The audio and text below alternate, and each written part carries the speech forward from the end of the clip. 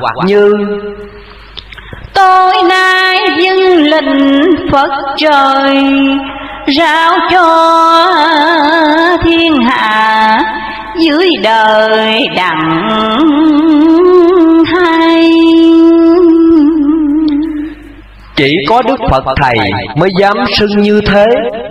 Ba, theo sấm giảng của Đức Quỳnh Giáo chủ Phật giáo Hòa Hảo có chỗ cho biết ở cao miên vì mến tần hoàng, trở về nam đặng có sửa sang. Cho thiện tinh được rành chân lý Mấy câu này đủ ám chỉ về ông sư dạy bán khoai Và chính trong sấm giảng Ông bán khoai cũng có viết. Tôi đâu mà có an thân. Bây giờ Phật biểu tôi sang nước cư tầng Mến là mến nghĩa hoàng lân, Thương là thương lấy vạn dân mắt cứ nàng. Cứ theo ba bằng chứng, trên đây không còn ai chẳng nhìn nhận. Ông bán khoai là chuyển kiếp của Đức Phật Thầy. Phương chi giữa Đức Phật Trùm, Đức Phật Thầy Tây An và ông sư dạy bán khoai vẫn có sự đồng nhất. Một, hay xưng khùng điên là để đối lại người đời ưa xưng khôn lanh, nhưng khôn lanh là về đường tội ác. Mặc dầu là xưng khùng điên nhưng mà thứ không cùng điên của Phật, tỏa thấu cơ quyền trong sấm giảng người đời, ông bán khoai đã xưng khùng. Khùng là khùng Phật, khùng trời. Cho nên khùng biết việc đời hết Dạ, trơn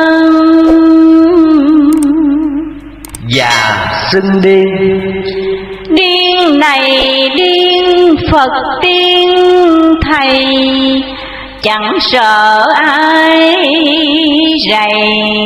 Nên nói cù nhây.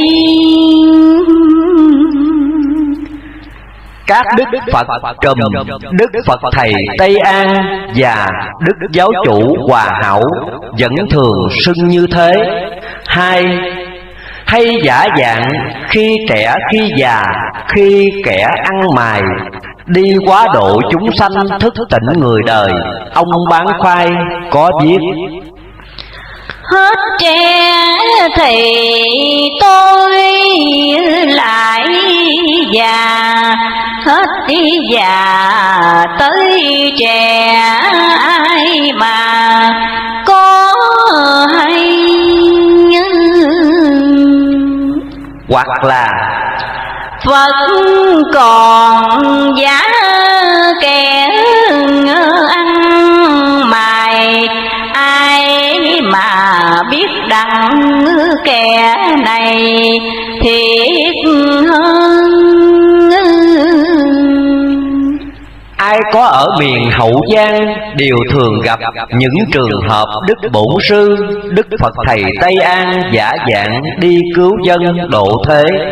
ba các lời giáo truyền của Đức Phật Trùm, Đức Phật Thầy Tây An, ông sư dạy bán khoai và sau này Đức Giáo chủ Hòa Hảo vẫn giống nhau, nhận định quyền cơ cùng tiên tri hậu giận không có chỗ nào khác nhau.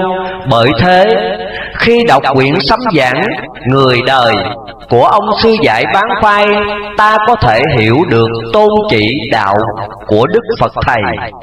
Ta có thể nói quyển sấm giảng người đời, Đại diện cho tư tưởng cùng quan niệm của cả hai phái Phật Thầy. Như vậy, trong tình trạng thiếu sót tài liệu như hiện nay tôi có thể bằng vào quyển sấm giảng người đời của ông bán khoai để hiểu Đức Phật Thầy nói gì về tận thế và hội Long Hoa, cũng như quyển Đại Thừa Chân Giáo của Cao Đài Giáo, quyển sấm giảng người đời của ông sư dạy bán khoai, cũng mở đầu bằng câu đánh thức người đời rằng, đời hạ quân đã hết hạ quân giáp tí bằng hai. Cơ trời à, đã khiến lập đời, thượng lai và từ đầu chí cuối, danh từ hạ quân vẫn được lặp đi lặp lại mãi ý chừng muốn nhấn mạnh cho người đời luôn luôn để ý. Hạ quân nay đã hết rồi minh hoàng cầu phật lập đời thượng quân. Hoặc với câu hạ quân hơi đôi dời ngọc hoàng hỏi nghị lập đời thượng quân. Cứ theo ba câu vừa dẫn, đủ cho ta thấy rằng sự nhận định của ông sư dạy bán khoai không khác với cao đài giáo. Về lý tam quân, thời hạ quân sở dĩ sắp mãn là để lập lên đời thượng quân, rồi cứ theo luật tuần quần, sẽ bước qua thời kỳ trung quân, để lọt xuống thời kỳ hạ quân. Và luật tuần quần ấy cứ như thế, diễn tiến mãi, nay thì thời cơ đã mỏng manh hạ quân như sỏi chỉ mạnh, sao không tu niệm tranh hành? Làm chi? Và ông sư giải bán khoai, dám quả quyết rằng, cơ trời đã chỉ định đời này như nước cờ cùng, nói cho già trẻ giữ gìn tu thân. Xem qua tiếc lại mấy lần cơ, trời định chắc không lầm. Bớ dân bởi thế mà ông không ngần ngại truyền rao rao cho ba ơi, tánh đặng tường. Kinh này ờ, rốt việc, rốt đời. Bơ dân. Thời cơ đã mỏng manh, cơ trời đã định nhưng đã gần chưa và do đâu biết nó sẽ đến. Những điềm báo trước đời đã tới. Ông sư giải bán khoai không ngần ngại mà cho biết đời đã cận lắm rồi.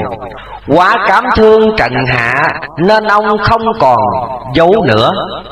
Cảm thương trần hạ gây trai ra bài giáo thuyền, cõi tay nàng sầu. Bây giờ con dấu chi đâu?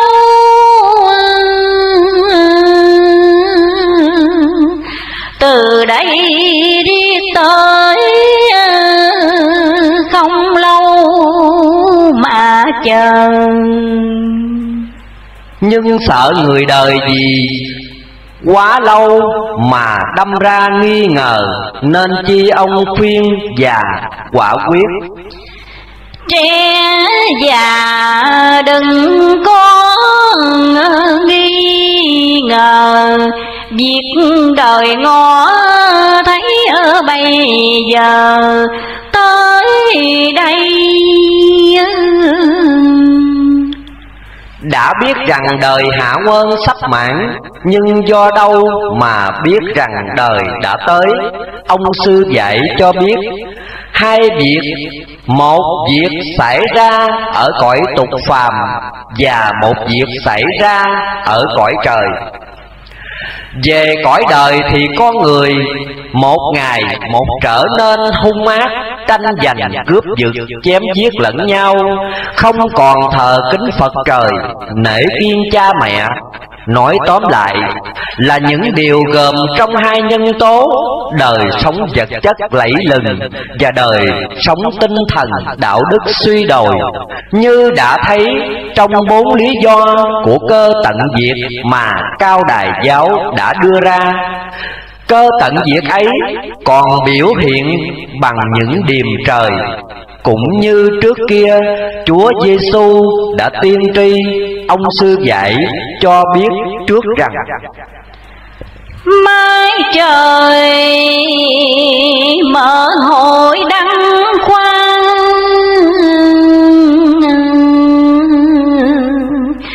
Mười ba tháng chín à, trời ra một đêm trời chiều mây lặng gió êm, giờ thân trời mới à, nổi lên rõ ràng. Điểm hiện ba sắc tam quan, sắc đỏ, sắc vàng. Lại với sắc xanh. Rồi ông kết luận nói cho già trẻ đăng tàn Việc đời gần chớ không xa mà chờ. Phật trời chiếu rõ trí cơ, Có nghe không ép làm ngơ không này về điểm này theo lời của một Vài ông kỳ lão kể lại. Những người cùng thời với ông bán khoai Đều mục kích rõ ràng, Và nhờ đó họ tăng trưởng đức tin, Một dạ tinh tấn tu hành. Nhưng muốn cho người đời nhận thức một cách thực tế hơn, Ông sư dạy còn chỉ cho người đời, Để ý về thời tiết đã đổi sai đời đa tầng thế vậy mà, mùa nam như gió bất cứ đông thời, gió tây mới trời nay đã đổi xoay, công danh có hội này mà thôi. Đó là những điều xảy ra trong cõi tục phàm. Ngoài ra, cơ tận diệt, Theo ông sư dạy bán khoai, Còn nằm trong quyền định đoạt ở cõi trời, Và chỉ có các đấng Phật tiên mới rõ được. Điều này ngoại trừ người có tôn giáo, Không có thể hiểu nổi. Ông sư dạy bán khoai cho biết rằng, cõi trần khi dễ ơi, phật tiên theo vụ việc kêu dèm liên miên. Du thần tuần giang chép biên, ghi tội ghi phước dưới miền trần gian. Mang trăng số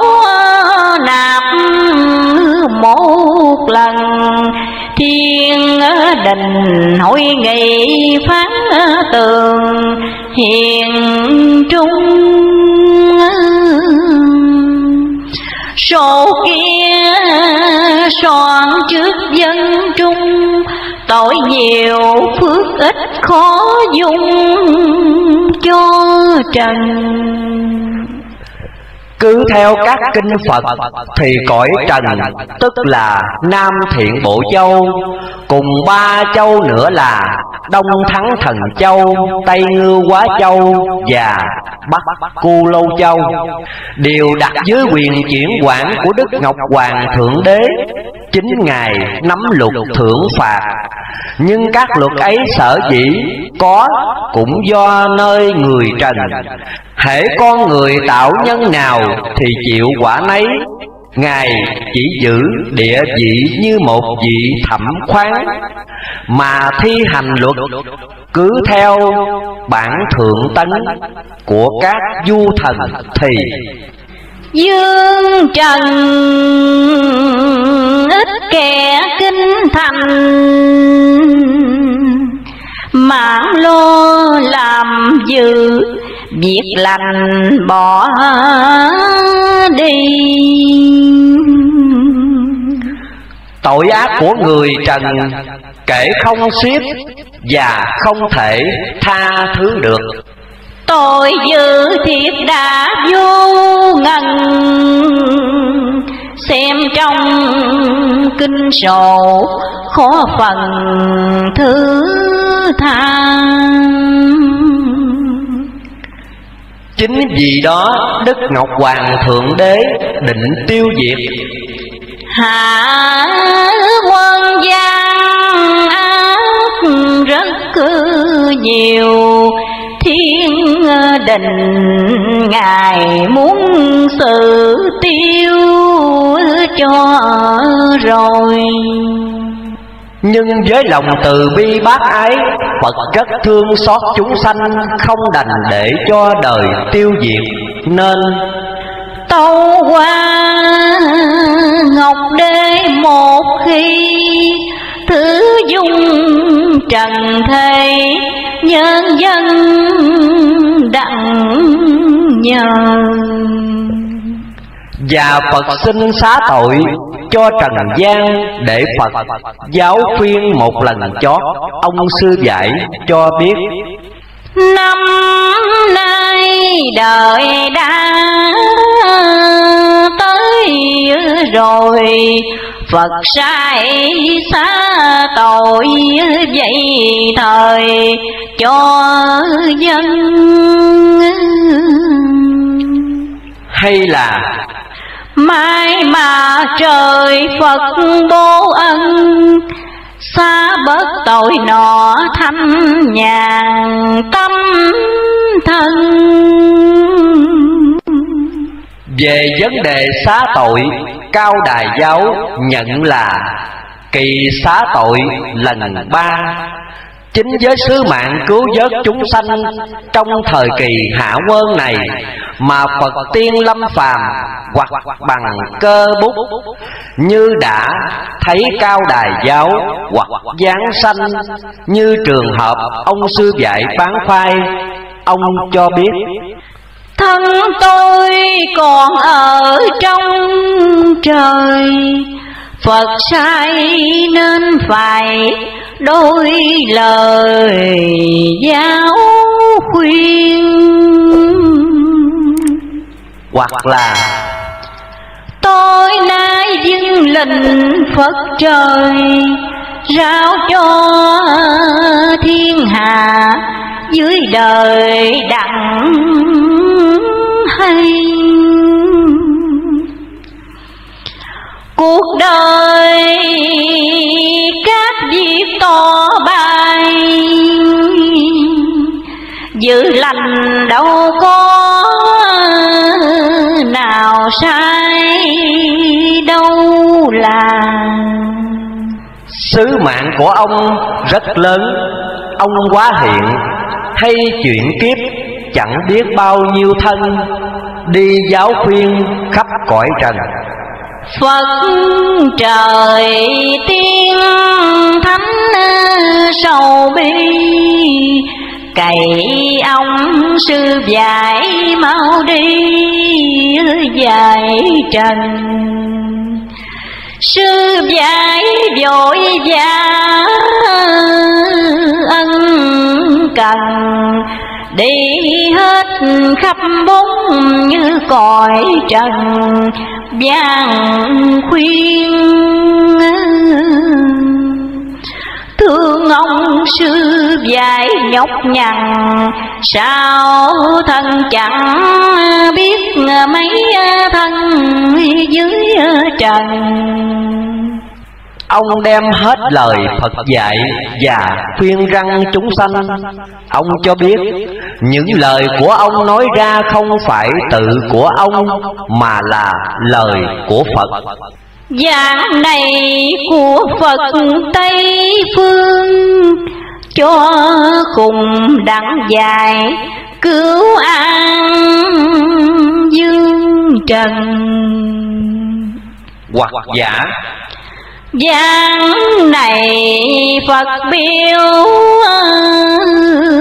truyền dài Thấy trong cuộc thế đời này nghinh ngang. Cho nên Phật biểu lưu truyền Chứ trong ba tấm tinh ờ, thời ghi coi. Về phương pháp phổ hóa, Ông sư dạy bán khoai Hay nói rõ ra, Những ngày trong phái Phật Thầy. Thường hay giả dạng khi kẻ ăn xin Khi người buôn bán Nhất là xưng khùng, xưng điên Đi từ xứ này qua xứ nọ Từ thành thị đến thôn quê Đem lời Phật mà khuyên răng đời Ông sư dạy bán khoai cho biết. Phật tiên thôi mới đổi phiên. Xuống ngay trần thế Giả người bận nhân. Giả điên rồi lại giả khùng. Cơ hàng rách rưới,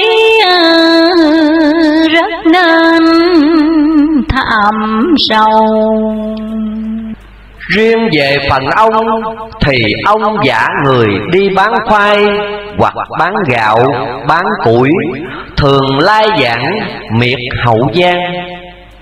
Tôi là ông sai bán khoai Bán gạo ông trưởng ờ, Ai ai cũng lầm. Nhưng sứ mạng của ông có thể nói là Ở cao miên hơn, Chính ông cũng nhận là Phật sai ông qua đó phổ độ.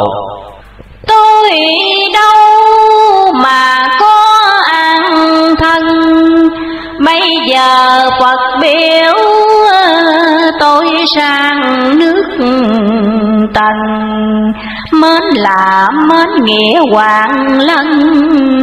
Thương là thương lấy vạn dân mắt nàng. Sư dạy bán khoai với hội Long Hoa. Ông sư dạy không ngần ngại mà cho biết là hội Long Hoa sẽ được mở ra để chọn người hiền đức vì đời thượng ơn là đời vô cùng đẹp đẽ, xã hội của người hiền.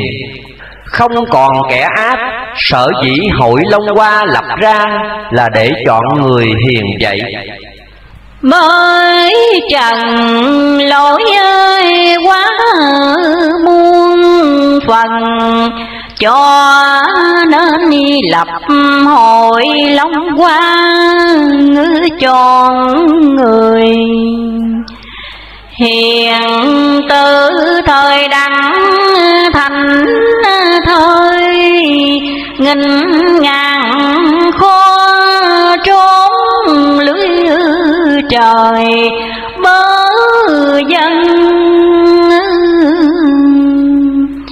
lưới hồng bùa khắp cõi trần, chuyện luân ba quay còn trong nỗi gì?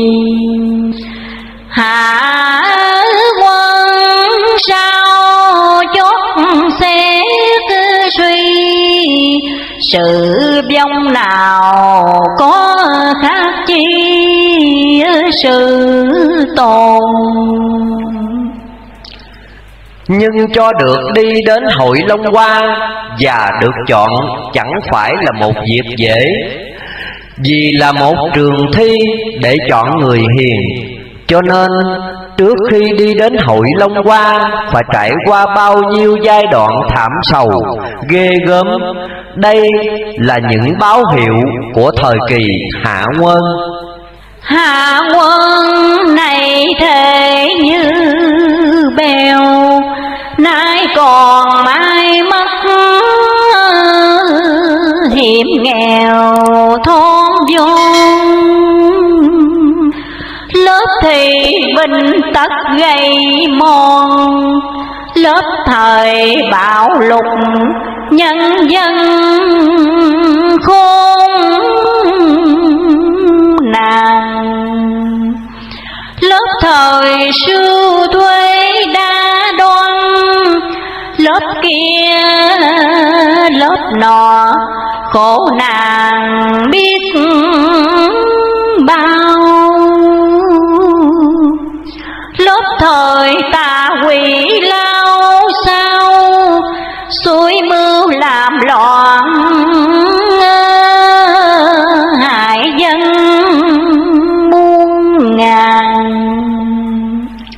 Lớp nào là giặc nổi lên đánh tứ tung Không còn biết nơi nào mà tránh.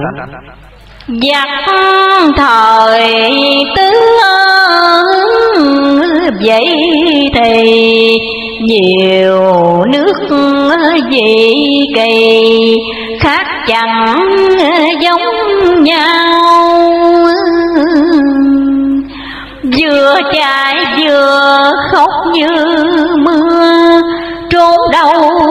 khỏi bích ngừa bốn phương. Nào là cha con chồng vợ lạc nhau Nhà tan cửa nát. Làm cho nhiều việc tiêu điều muôn ngàn thiên hạ chính chiều thon vốn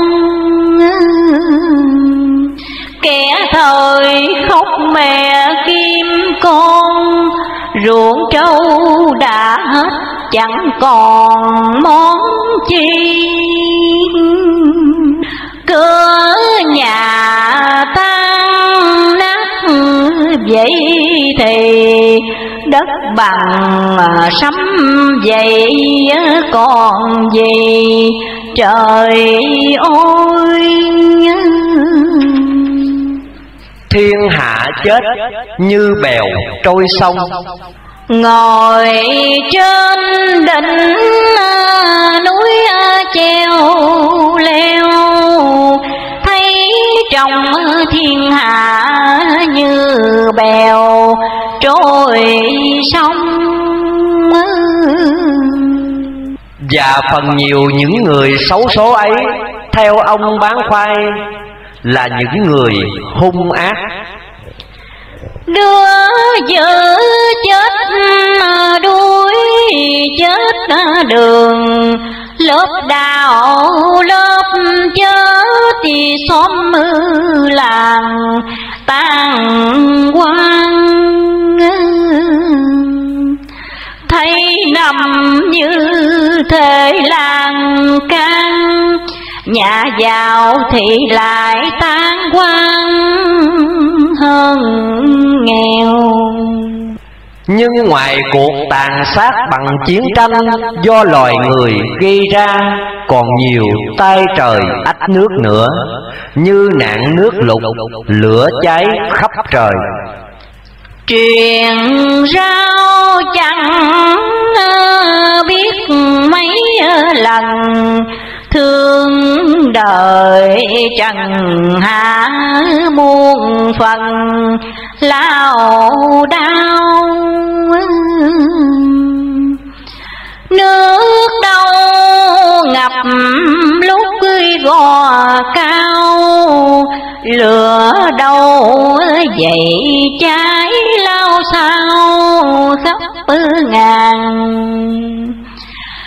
cam thương trần hà lăng xăng, mắt trong nước lửa biết đường là đâu thứ lửa nó bay trên cao đến đâu trai đó, chỗ nào cũng tiêu. Lại còn âm binh nhiễu hại, lại có một mối âm binh làm đau nhiều chứng trong mình chẳng an kẻ thời nát cơ, ruột nát cơ gan.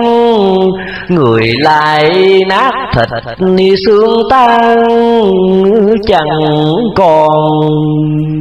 Lại còn ác thú giết người không biết bao nhiêu mà kể.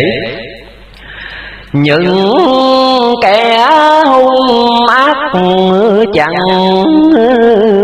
bền hổ lan ác thú bắt rài, chẳng tha. Thịt xương ăn bỏ dày đầy, nói cho ba tánh đời này tu thân mà lại là những thứ ác thú kỳ hình, dị trạng chưa từng thấy. Thú sao nhiều thứ dị kỳ, biết sao cho hết khác thầy thú này lớp bay lớp chạy lăn xăng chừng đó cậu nguyện, phật ngừa đặng đau những cảnh tượng ghê rợn ấy thật là ngoài sức tưởng tượng của con người khi xảy ra bao nhiêu cảnh tượng rùng rợn ấy, con người sẽ ra sao và cuộc đời sẽ ra thế nào? Ông sư dạy bán khoai cho biết rằng, trong lúc hỗn loạn, chiến tranh giữa loài người, thì có điềm trời xuất hiện. Cái điểm đó sẽ kinh thiên động địa, bởi nó là những tiếng sấm nổ. Thương thay trần hạ hết tình. Sấm trời sao lại thình lình nổ ra. Chừng ấy mới thấy quỷ ma. Ai lành, ai dữ, ai là phật tiên. Chừng nào tiên sấm nổ ra, thời lạ lành dữ kẻ tiêu người còn. Nói ra nghĩ lại heo giòn, lành còn giữ mất khác dài với nhau. Tiếng sấm ấy sẽ làm cho nhiều hòn núi phải dở nhiều cù lao, đất liền phải sập. Quả địa cầu vì đó mà thay hình. Chính trong lúc đó, thì súng không còn nổ.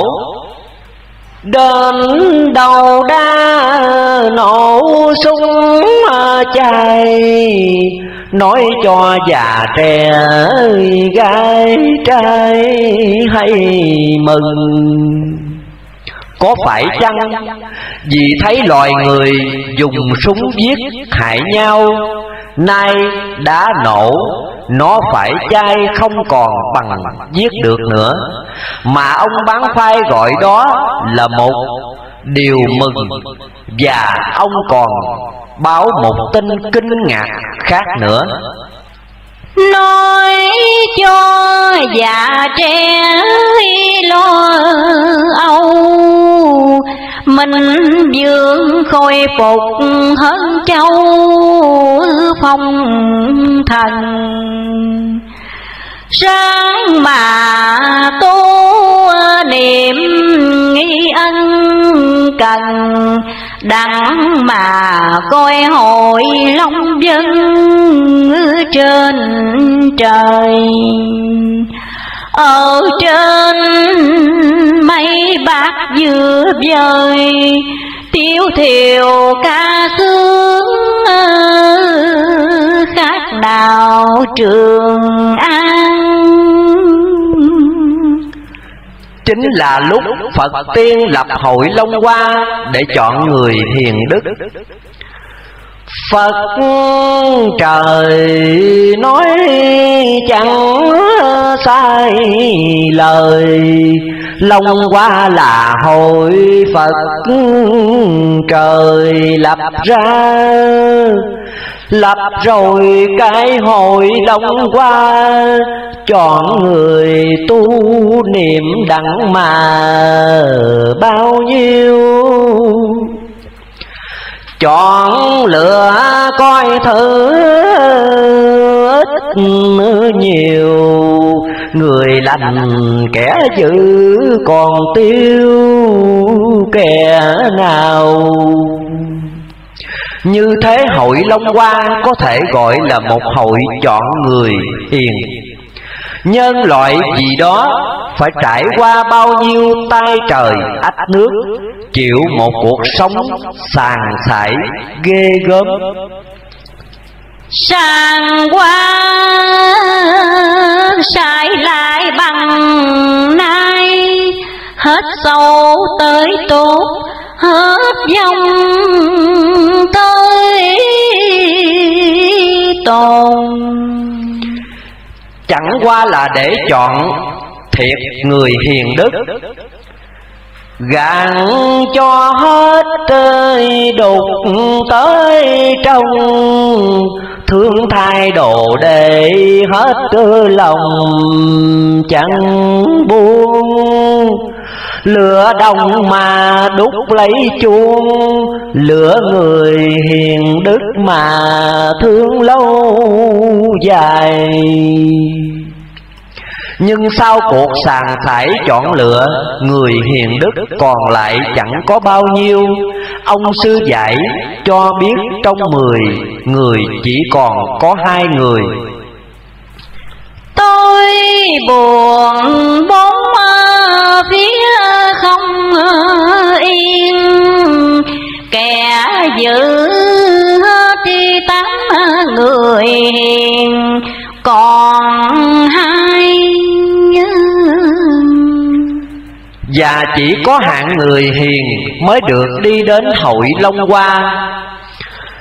Cuộc đời quá thiệt, hẳn hồi Hội mười tám nước tôn dương đế hoàng. Đặng coi cái hội long qua, Chọn người tu niệm hoàng gia tôn thần lại còn cái ờ, hội long dân quân thần cộng lạc thải ờ, đều vui chơi. Người lành mới đặng thành thời, Qua dân hai hội Chúa tôi vui vậy được đi đến hội Long Hoa, đã là diễm phúc rồi. Thế mà ông bán khoai, còn cho biết Người nhân đức được một diễm phúc nữa. Tu hành nhân đức thì hơn Thái hồn mà đổi xa nhờ ơn cửu trùng. Hết tục rồi lại đến tiên. Giữ lời Phật dạy mới yên, mới lành. Chính đến lúc đó mới là đời thượng quân, Mở ra một thời kỳ thái bình vĩnh viễn. Ông sư giải cho biết, Chừng nào núi ờ, cấm quá lâu Thời là ba tánh đâu đâu thái bình. Ông không dứt nhắc đi nhắc lại hiện tượng này cho chúng sanh để ý. Chừng nào bãi ờ, núi thành vàng Thì là mới đặng thanh nhàn tâm ờ, thân nhưng điều mà ông sư giải bán khoai vui mừng Là khi thời kỳ thượng quân đã lập, Nước Nam sẽ là một nước diễm phúc nhất trên quả địa cầu. Nước Nam như thể cái lầu, Ngày sau các nước đâu đâu phục tùng.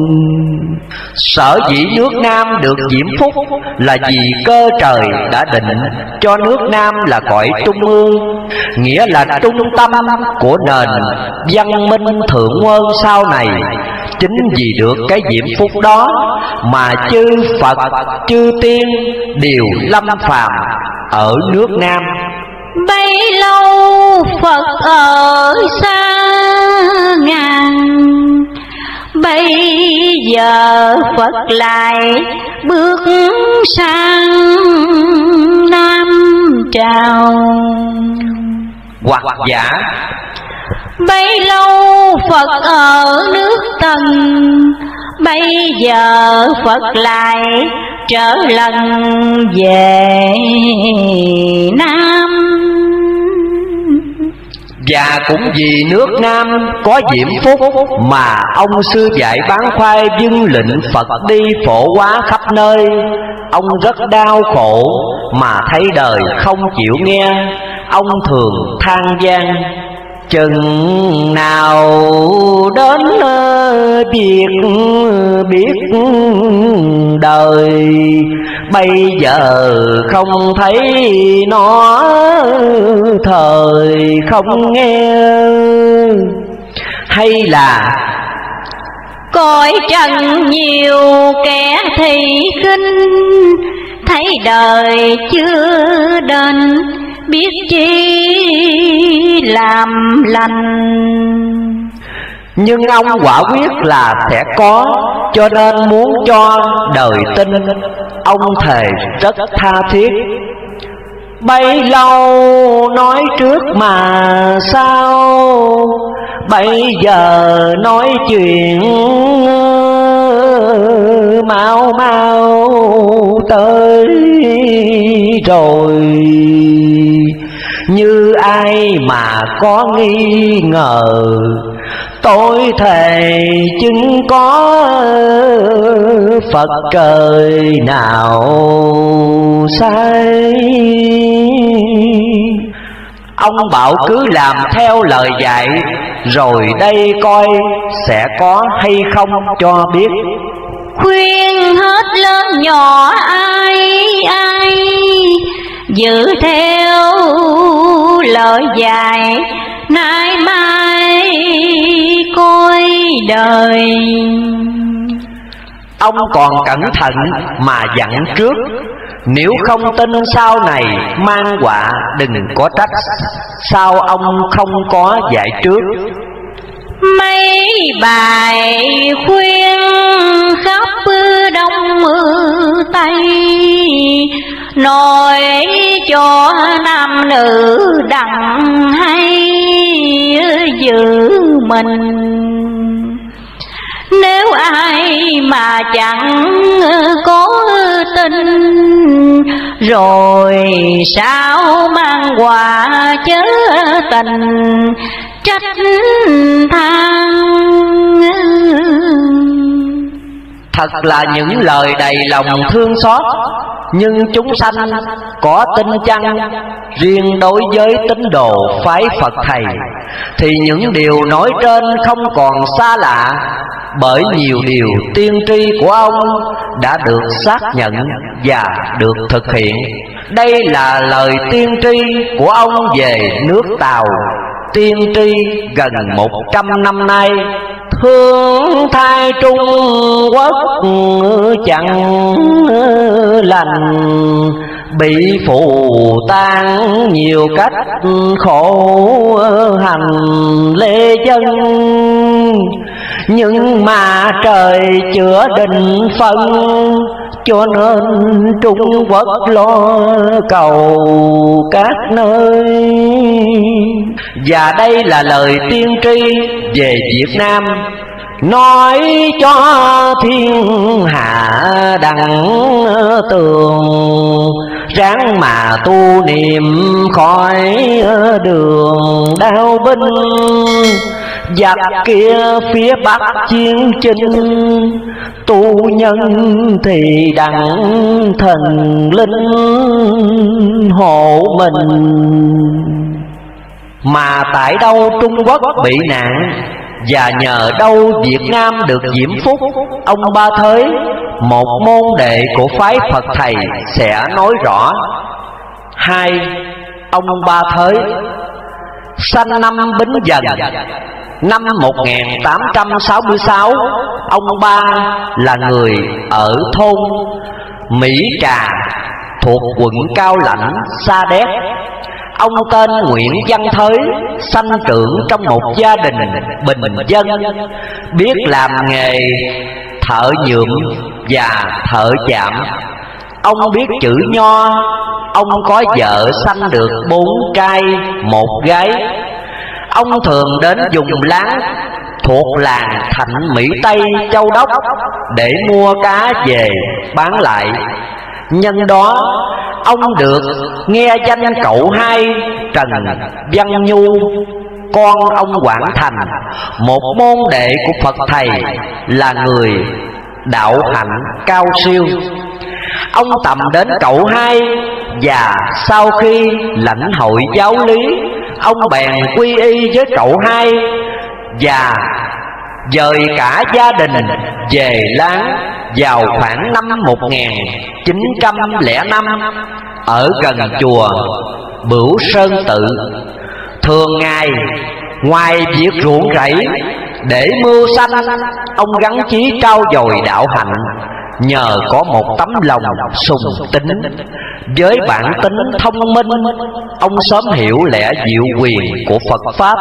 Lúc ở láng ông sáng tác được ba quyển dân tiên, thiện từ, cổ giảng kim lai. Ở đây trong tám năm, Ông với cậu hai rất tương đắc. Vì thế cháu ruột của cậu hai tên là Sáu Phẩm, Đem lòng ganh tị, Nên thừa lúc lại chùa Bửu Sơn Tự Có cuộc lễ Phật đông đảo, Bèn tố cáo với nhà cầm quyền tỉnh Châu Đốc Rằng ở đó có cuộc nhóm họp định chống lại chánh phủ Pháp. Chùa Bửu Sơn Tự bị bao dây Cậu hai và ông ba thoát khỏi còn lại 56 người bị bắt. Trong đó có hai Tuấn là con thứ hai của ông. Những người này bị giải về Châu Đốc, Tòa kêu án 13 tháng tù.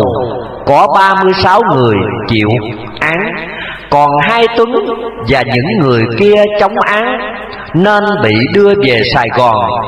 Tòa Sài Gòn y án ở khám Sài Gòn, độ năm, sáu tháng, Những người ấy bị đưa đi côn nôn Cho đến mãn tù mới về. Khi hai Tuấn bị bắt và cậu hai ẩn mặt, Ông ba rất buồn thảm. Nên ba hôm sau, ông dùng dao cạo tự cắt họng. Vết thương rất nặng. Vì cuốn họng của ông đứt hơn hai phần, Nên người nhà chở ông lên nhà thương châu đốc. Ở đây lương y băng bó Bao nhiêu đều bị ông gỡ bỏ hết. Ông cự tuyệt, Không dùng một vật gì của nhà thương. Thấy ông không thể sống được, Người ta đem bỏ ông ở nhà xác. Ông trốn ra ngoài Và được người nhà đem về. Chùa Bửu Sơn Tự Bị nhà cầm quyền để ý. Ông bèn dời nhà về Kiến An thuộc quận chợ mới Long Xuyên. Vào năm 1912 Vết thương vẫn không lành.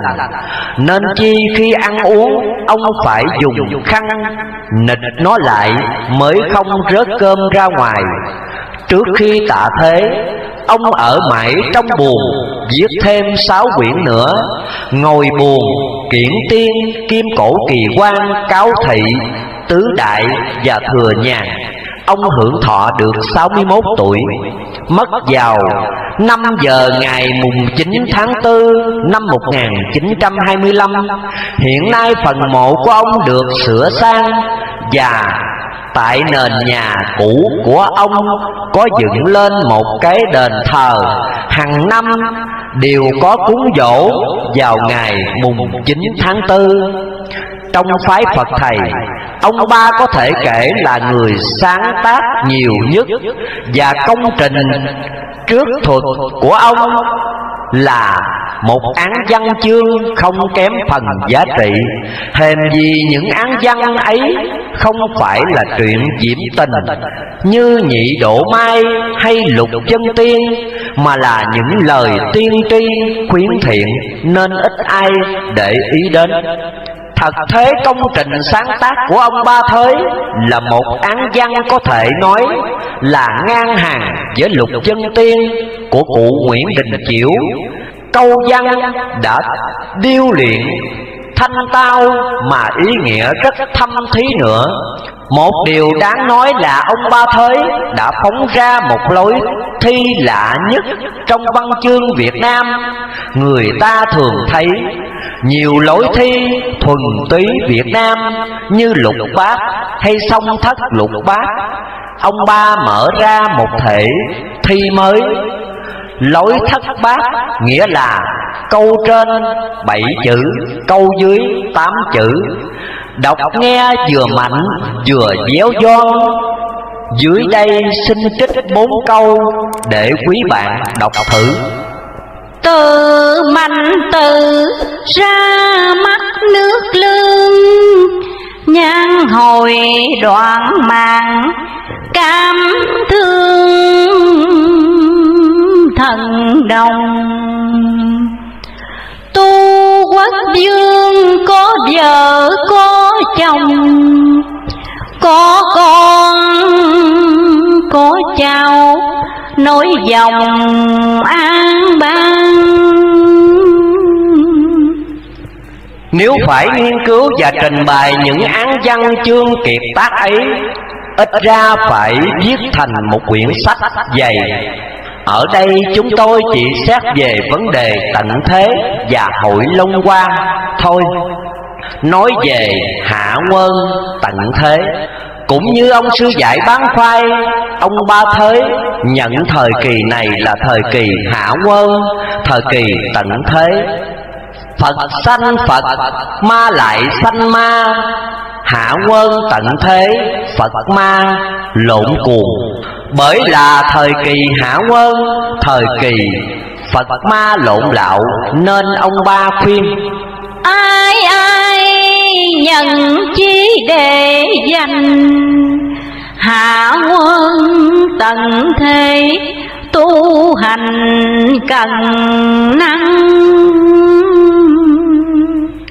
Danh từ hạ quân tận thế Vẫn được lặp đi lặp lại mãi Đứng trước cuộc đời này. Dầu Phật cũng chắc lưỡi Bởi chúng sanh quá tham lam Tàn ác.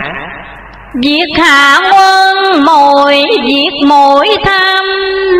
Phật chắc lười khó giam Lại đồ Kẻ lo ăn người thời lo ngủ Kẻ làm chủ, người phụ làm quan. Lại dùng mưu làm, quấy làm gian. Đoạt của thế, lo toan, bất chánh. Vì quá tham lam, mãi dụng mưu làm quấy. Đã thế khuyên dạy lại không nghe Cho nên Đau hạ quân trời đất sự tiêu. Nhiều lời giáo dụ chẳng siêu. Việc lành. Chính đó là cơ tận diệt Ông ba cho biết để mà đừng có khinh khi. Viết đời thẩm tóc Dĩ bốc tiên tri. Người nào khinh khi Hậu ly đạo Phật. Ấy thế mà người đời vẫn khinh thường mãi lo bề giữ của người đời này gắm chẳng bao lâu. Lo bề giữ của lo sao không màng. Ông ba thương xót mà cho biết rằng Không khéo rồi đây, nước sẽ ngập tới cổ. Việc thấy đó người phải lo âu. Nước đà tới cổ ngập sâu, hụt giòn. Người đời quá hững hờ, Vì người đời không thấy, Mặc dù là chưa thấy, Nhưng ông ba cho hay nó sắp tới Rồi đây sẽ thấy. Việc không thấy nói ờ, trước kia cho rồi, Từ nay sắp tới ờ, lần hồi coi chơi. Nhưng muốn coi đời, Ông ba khuyên hại ráng bền lòng. Đừng nản chí, Dầu phải trải qua bao nhiêu cảnh gian lao. Đôi lòng ăn với khoai. Chờ cho tới lúc chiều mai, coi đời. Nói về hội Long Hoa, Như ông ba cho biết cuộc đời đã mỏng manh lắm rồi. Nhưng cuộc đời sẽ đi về đâu, Ông cho biết. Cũng như ông sư dạy bán khoai rồi đây sẽ mở hội Long Hoa, Dựng bản phong thần Chọn người hiền đức. Ông cũng nhận đó là một cuộc thi. Chỉ cầu mai niệm Phật lần lần, Lập đông mạng tiết Phong thần ưng khoan. Nhưng cuộc thi đây không phải là cuộc thi văn hay võ giỏi Mà thi về đức, thi về tấm lòng hiền. Phật thi đức cao quốc thi văn Nhân tùng thi chánh Nhân tăng thi lòng một cuộc thi mà người đời muốn đi đến phải chịu bao nhiêu cuộc nhồi nhã để trả quả? Người đổi người, lời lại đổi lời. Phong thần trả quà thấy thời điếc tai đó là một cuộc trả quả. Cho nên người đời phải chịu bao nhiêu cuộc thử thách, gian lao, khổ sở. Thân nhồi nhã rời ra chưa thôi. Mười sầu mười tham thương ôi thân người sự khổ ấy một ngày một tăng lên và tiến tới mãi mãi. Mình khắc dược đã khó định phân. Từ nay sắp tới khổ thân hoài hoài. Nói rằng khổ, Nhưng sự khổ ấy diễn ra bằng cách nào? Ông ba cho biết sự khổ nhất của người đời Phải chịu là nạn đói. Sợ ngày sau, nhiều kẻ khóc lang Nằm có chịu đôi Phật ma tường Cái nạn đói này rất dai dẳng nó kéo dài trong ba năm đăng đẳng. Mà sở dĩ xảy ra nạn đói là gì? Có nạn hạn hán làm cho đồng khô cỏ cháy. Giải làm lành niệm Phật Nam Mô niên hạn hắn phơi khô thân hình. Người đời gì đó mà chết đói la liệt, Đến nhà không người ở, xác không người chôn, Chợ không người nhóm. Thương ba năm không chờ nhóm chiều, Nhà không người ở niệm nhiều nam mô.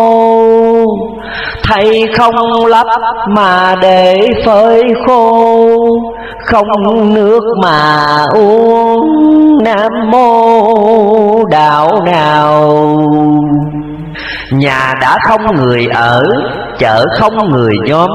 Thì ruộng làm gì có người làm. Tới đó thì hay việc gió dông. Nhà không người ở Ruộng không ai làm. Bởi thế Ông ba thường khuyên người đời hãy ráng chịu, Nham khổ cho quen. Có sống lây lất Muối dưa hẩm hút, Sau này mới chịu nổi nạn đói. Người ta quá đói, Không còn tìm chi ăn được, Đến phải ăn đá. Đói ăn bắp, Đói nửa ăn khoai. Hết khoai hết bắp. Chiều mai ăn đa Nhưng danh từ đá Đây theo ông ba có nghĩa khác. Duy những người tu theo phái Phật Thầy mới hiểu được. Chẳng những chịu đói mà thôi. Người đời còn chịu bao nhiêu tai nạn khác nữa, Như nạn âm binh có Phật ra mới ờ, thấy việc linh giặc trời loạn đồng âm binh giấy loàn có nạn ác thú có hộ lang ác thú tới nhà, hầm tha xấu bắt kẻ già. Thương ôi, những hiện tượng này đã thấy ông sư dạy bán khoai nói đến rồi. Ngoài ra còn nạn nước lụt. Nghèo, sắm xuồng giàu có sắm ghê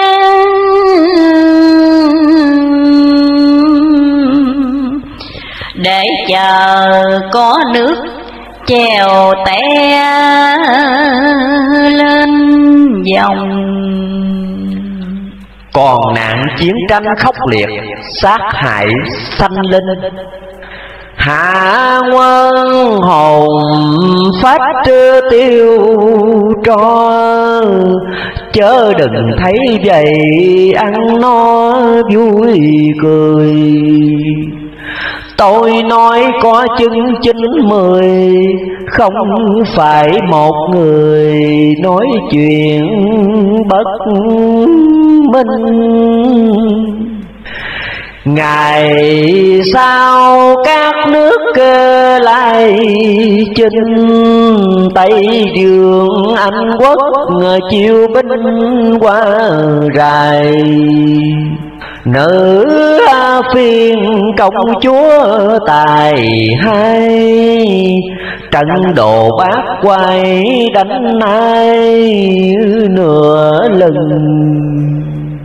Tương tranh quần ân trong rừng, Lòng buồn nói chuyện nhớ chừng mà chơi.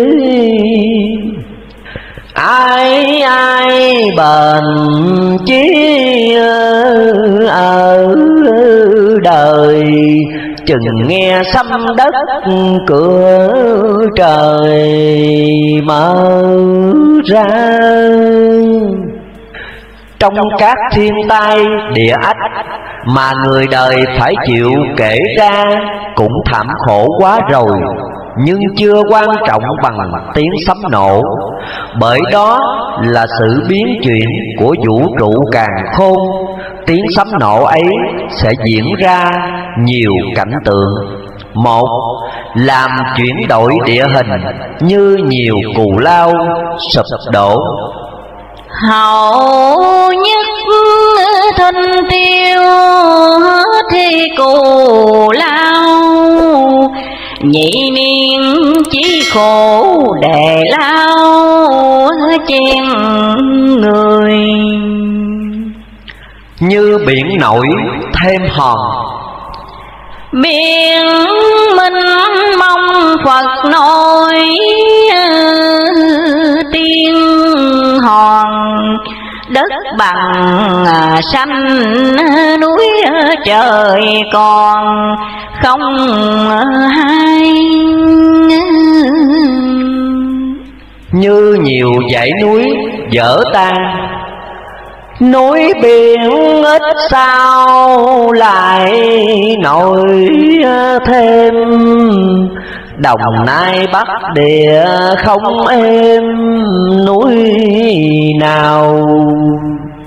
Trong lúc có nhiều núi dở thì trái lại có nhiều núi nổi lên. Cửa ngã bắc có nổi nhị sơn núi sam tiêu mất thất sơn điện đền.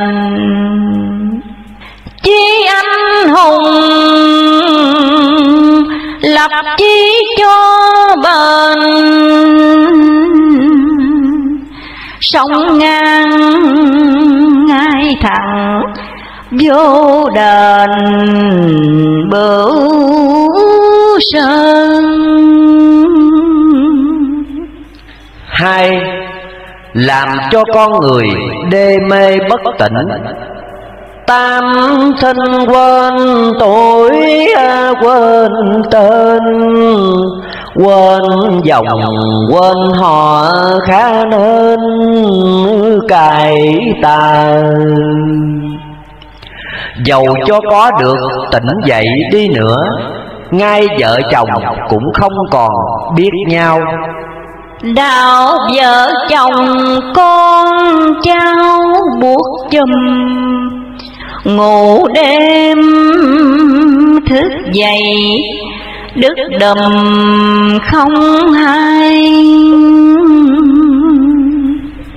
Đến lúc đó mới biết ai là người có căn theo ông ba thì Nam Kỳ lại có căn nhiều hơn hết. Xuất cơ tam thinh Mặc sức nghi lăng xăng. Nam kỳ niệm Phật nghi có căn dự hình. Những người có căn đều được Phật đến giải mê cho. Khá bùa câu thả lưới đời chờ Phật cho tài phép, Một giờ thoát mê. Chẳng những thoát mê Mà những người hữu căn hữu phước Còn thai hồn đổi xác nữa. Tam giới hội sự việc bất cơ miên. Thai hồn đổi xác còi tiên đem về. Chính lúc đó, tam giới mở hội Để lập lên đời thượng quân.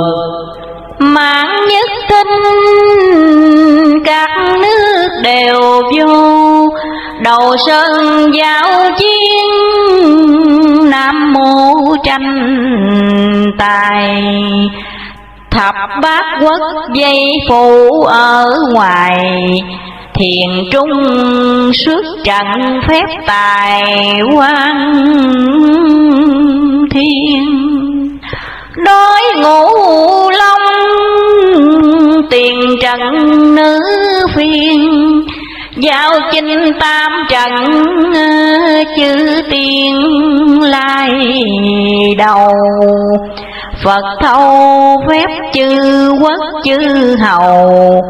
Quy lai thiền nội, ứng hầu Phật dương. Đồng chúc thâm dạng thọ an khương. Tuế tăng vạn tuế, Phật dương thọ trường. Phán chư quốc công lễ minh tường. Tiểu bang lãnh sắc Thường thường thọ ân Đại yên viên chữ quốc an phân. Phần ngôi phần thứ, định phần quan dân. Chúc hơn trào miên diễn hoàng ân. Trường sanh thọ tuế, muôn dân thanh nhàn Lập thượng quân hướng thọ khôn càng, Đặt chung tư bổn diện toàn hiếu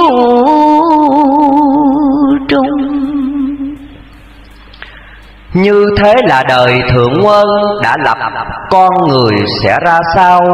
Đời sống ở cõi đó ra thế nào? Nói về đời thượng quân. Trong hàng môn đệ của Đức Phật Thầy, Ông Ba Thới kể ra là người có viết nhiều về đời thượng quân hơn hết. Phải chăng ông ba nghĩ rằng nếu nói đời thượng ơn là đẹp mà không cho người đời biết thì làm sao người đời ham hố, cố gắng tu hành để đi đến? Nên chi ông ba viết rõ về đời thượng ơn trong kinh di lặc và quyển quy nguyên trực chỉ, quốc độ của Phật Di Lặc đã được mô tả là đẹp đẽ trang nghiêm nhất. Đây chúng ta nghe ông ba mô tả. Để so sánh coi có khác những điều gì trong kinh Di Lặc và quyển Quy Nguyên trực chỉ đã nói không? Ông ba cho biết rằng khi lập đời lại Thì đất địa bằng thẳng Không bồi, không lỡ Biển không nổi cù lao nữa. Sao đất bằng không thấp không cao. Biển sông không nổi, cù lao nữa rồi. Mẹ sông biển không lỡ không bồi.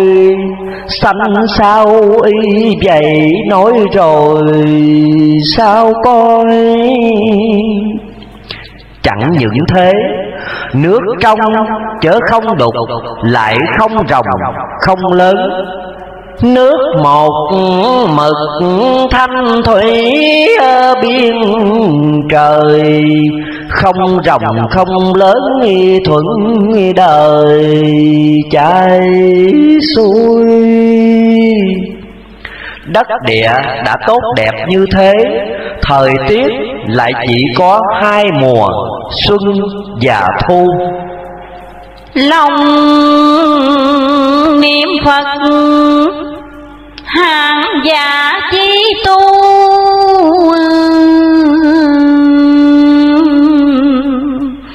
Ngày sau lặp lại xuân thu hai mùa. Bởi thế khí trời rất ấm áp. Gió hai ngọn xuân nhật nguyệt thu. Không lạnh không nực chỉ tu để đời. Có điều không thể tưởng tượng được là hệ ban ngày thì có mặt trời mọc còn ban đêm, khi mặt trời lặn, thì mặt trăng mọc. Đêm nào cũng như đêm nấy. Đến chừng nào nhật cơi nguyệt hiệp căng, Ngày thời ông mọc đêm trăng sáng hoài. Chẳng những thế lúc mọc lúc lặn không như thời nay vì thời tiết mà sai dịch. Tới ngày sau tí ngọ bất cứ gì thịnh thời ông mọc bất tri giờ nào đêm giờ tí ngày ngọ hiệp vào. Tí ngọ đứng đi bóng giờ nào. Lại ờ, tranh ngày sáu giờ đêm sáu giờ canh. Nguyệt xuất giờ tuất không tranh giờ nào?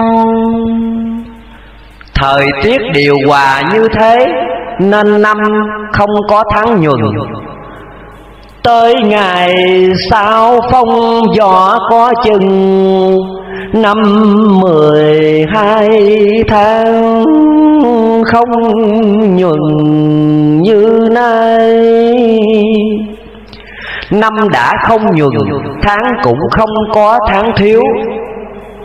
Nhất ngoạc tam thập nhất chiều mai, Không dư, không thiếu Khỏi tay, khỏi nàng.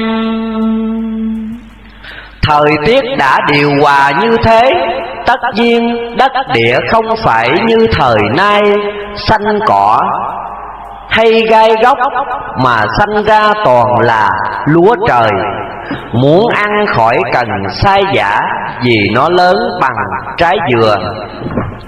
Hột lúa trời đó ruột đêm quyên, trái dừa nhâm sức của tiên cho mình. Lúa ấy chỉ có hai giống, Chứ không có nhiều giống như đời nay. Sao không nếp mà quết bánh phòng?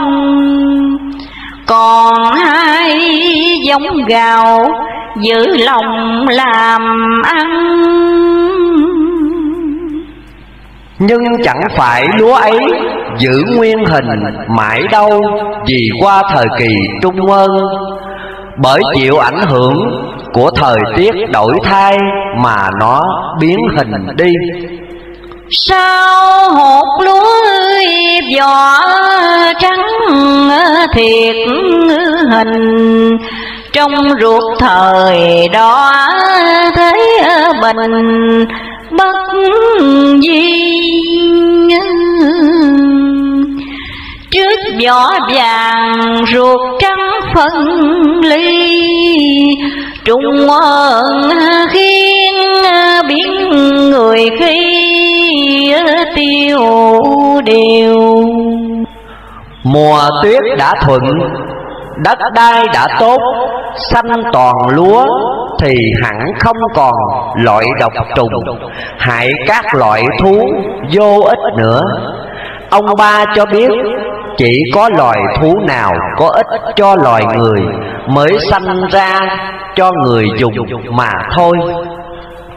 Núi lao sao lập hậu trời nghiêu, Cao điện đất thuần tiêu diêu, độc trùng.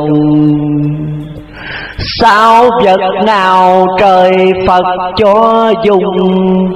Phật đem trở lại giường cùng dạng gia. Tôn nhị thú ơi, phạm luật quốc gia. Con trâu con chó còi ta không về. Tại đâu đời sao không có loài trâu, loài chó? Điều ấy rất dễ hiểu. Đã nói rằng loài thú nào có ích cho người mới sanh ra. Ngày sau, lúa đã mọc sẵn. Người ta không còn cài cấy nữa, Thì con trâu đâu còn được sanh, Cũng không còn ích lợi nữa. Còn loài chó sanh ra để giữ nhà. Mà đời sau là đời nghiêu thuấn. Nhà không đóng cửa, Của rơi không người lợm. Thì còn đâu trộm cướp Mà phải cần có chó giữ nhà. Quả thật là đời nhiêu thuấn, Nào là nhà không đóng cửa.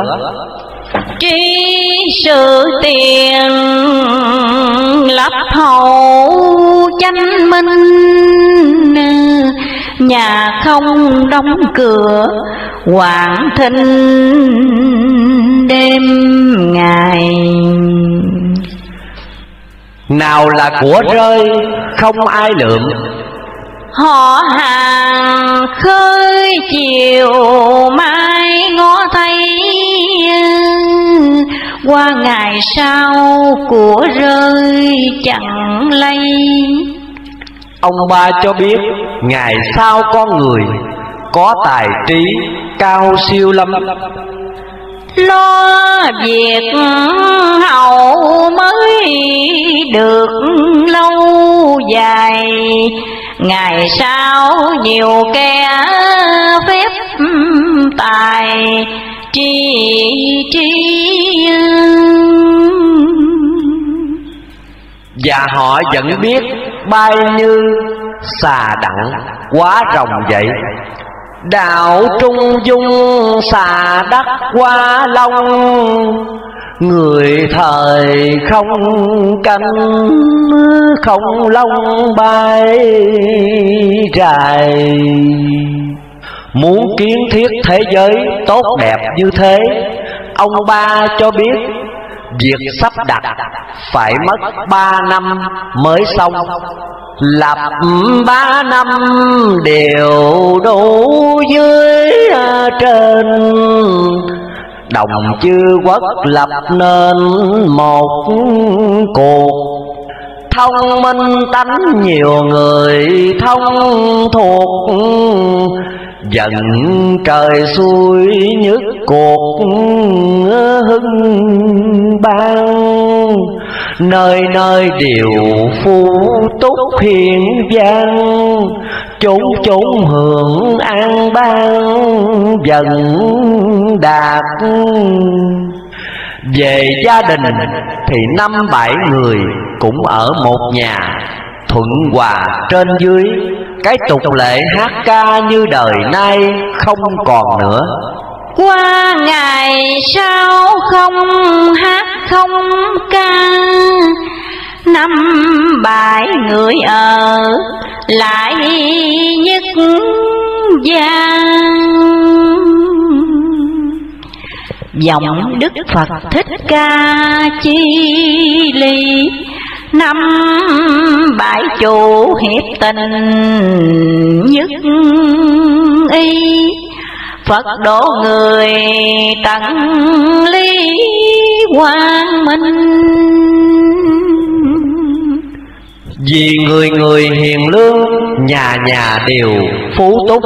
Cho nên không sanh ra trộm cướp, Bởi thế không có nhà ngục. Nhưng ở mỗi tỉnh vẫn có lập tòa án Để hòa giải những việc bất đồng ý kiến nhỏ nhặt. Cùng xem chừng việc trị lý trong dân gian. Có tòa án các tình xăm soi không đường ngục thất, sao coi để đời?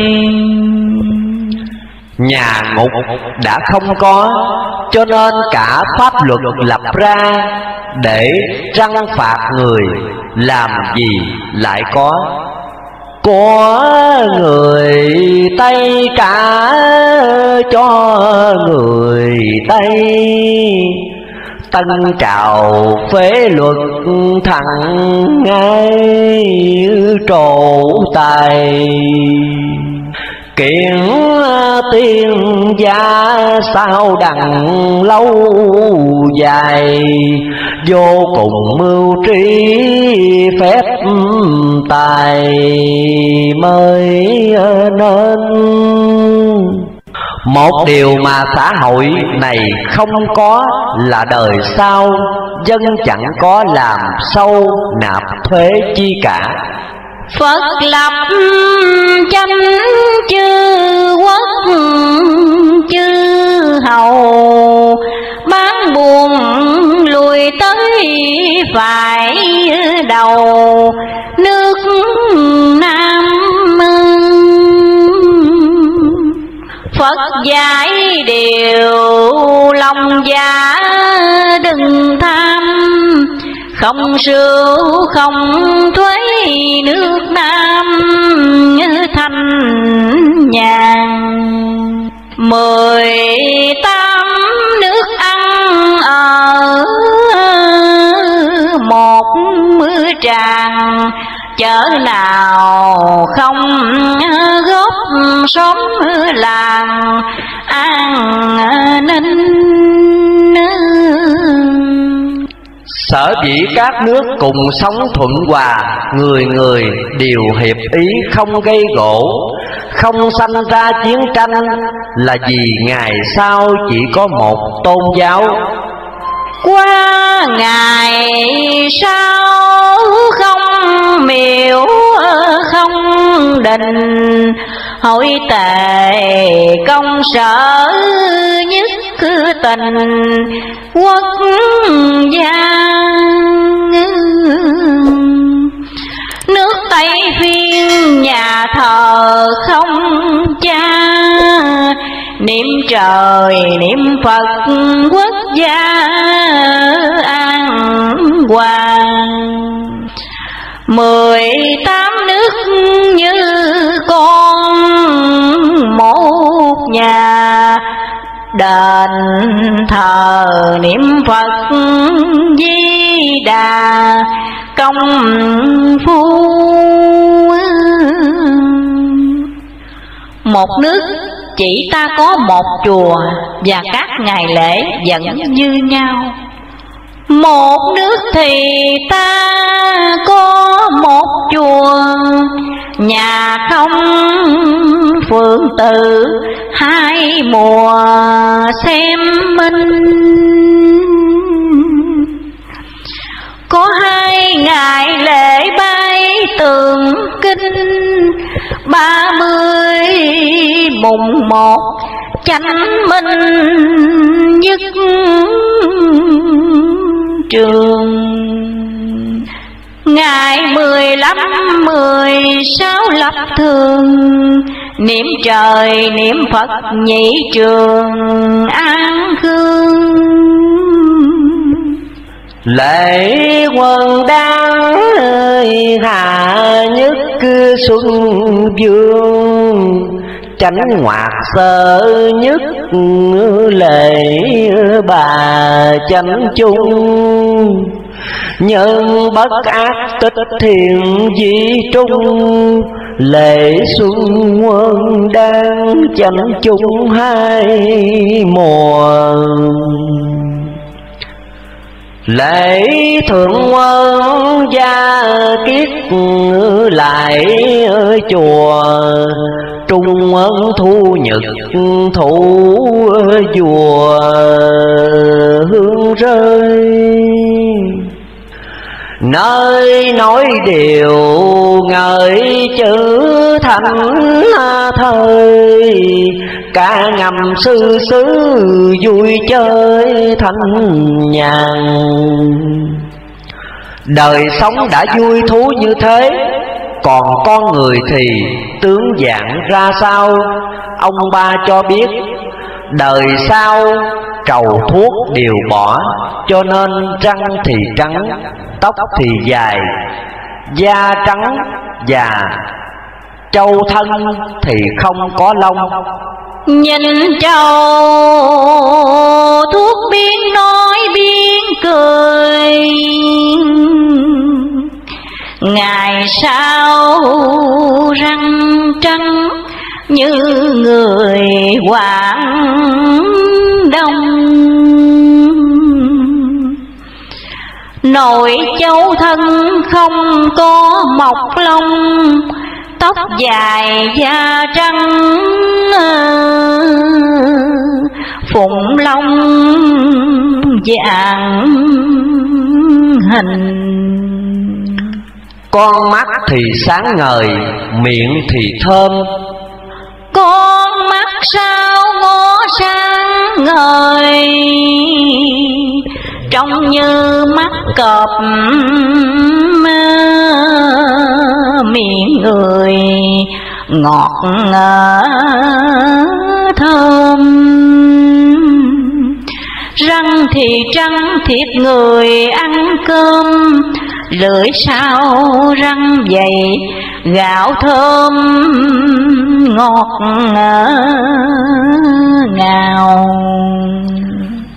Hình dạng đã đẹp đẽ như thế, Người người lại không trẻ, không già. Tám mươi tuổi sắp lên mới có con so. Xong, trong mười người mới có một người sanh sống lâu đến muôn tuổi. Đâu đâu không trẻ cũng không già. Tám mười mới có vậy mà con so ngoài muôn dân lạc nghiệp đủ no, mười người sanh đặng con so một người người tốt tươi ăn nói vui, cười. Nhưng tuổi thọ ấy qua trung ơn thì so le, giảm xuống còn trên một ngàn. Cũng như hột lúa bằng trái dừa qua trung ơn biến hình trở lại nhỏ. Người ăn nói bằng thẳng thiệt thà. Trình thưa dặm và dự mà. Phép khuôn Lập tượng quân tuổi có một muôn trung quân giữ già phép khuôn trên ngàn. Con người ăn ở đều có lễ nghi khuôn phép, cho nên không có sự loạn luân loạn dâm. Ngày sau nhân bất cứ loạn dâm, Người nào nghịch tanh binh âm mưa giật rồi. Phật cho tâm tánh định hồi, mang tri mọi rợ tiêu rồi, sạch trơn thiên sanh tiền hải ơi, hậu sơn. Tiền tần hậu hơn, mang ơn cùng nhiều. Ông ba cho biết rằng, vợ chồng đời nay chỉ là khoan khiên, túc trái dai trả lẫn nhau. Chỉ qua đời sau mới là thiệt vợ thiệt chồng. Những vị làm quan có đến năm bảy vợ. Đâu đấy đều hòa mục. Giữ trinh tiết thờ chồng. Có lẽ vì số đàn bà nhờ sự tu hành ở đời này mà được sống qua đời đó quá nhiều sắp năm bảy lần, số đàn ông phải chăng ngày nay chúng ta thấy số dân đàn bà đi chùa và tín ngưỡng trời Phật nhiều hơn đàn ông? Qua ngày sau thiệt nợ thuyệt dân, đàn bà trinh tiết vì ơn nuôi chồng năm bảy vợ hiệp ý một lòng. Thượng hòa hạ mục, nuôi chồng làm quan.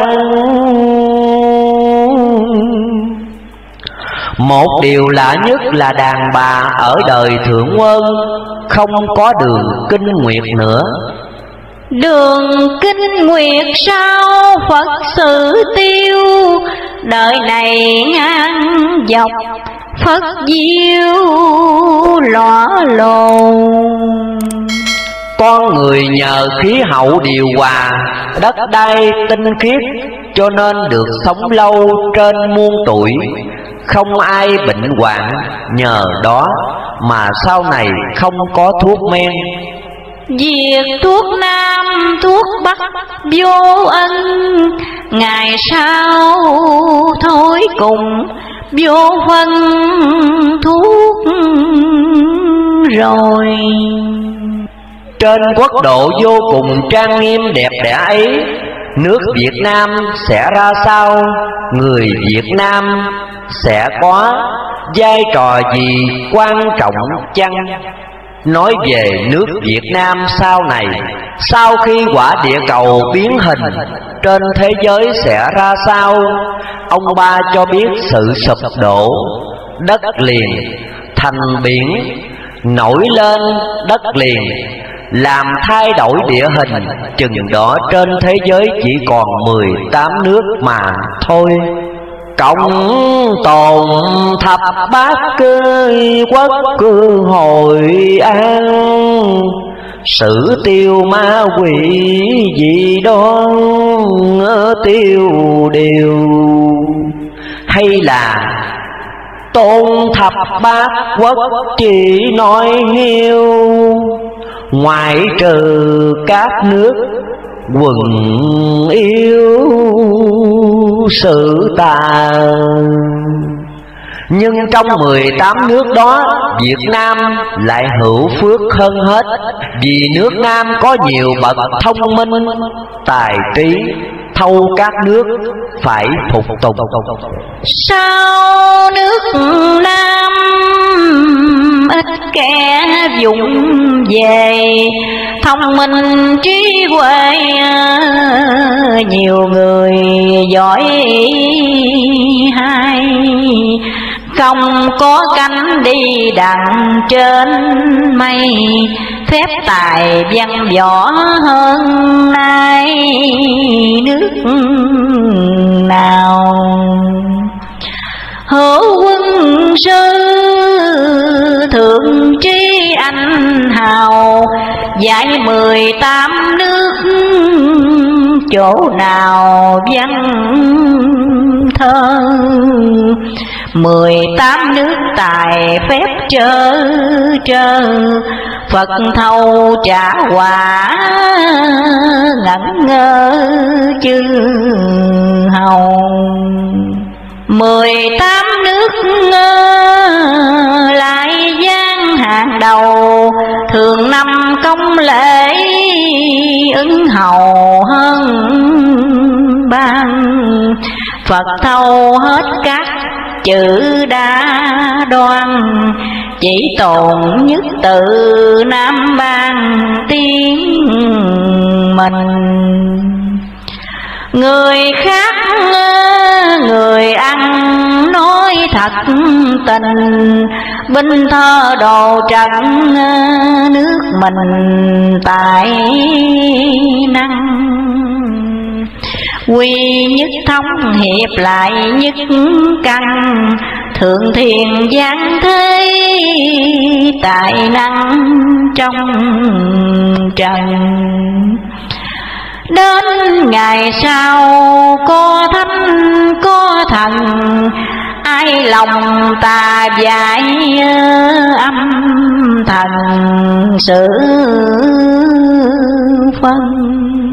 Nhưng hưởng được cảnh vinh quang ấy, Hỡi ôi, Người Việt Nam chúng ta trong mười người, Chỉ còn lại có ba người. Đất Bắc Việt sau này đổi thành ruộng sâu. Trong mười người, chỉ còn có một người, Phải chăng vì tội làm thịt cáo cày mà trong kinh Phật đã cấm.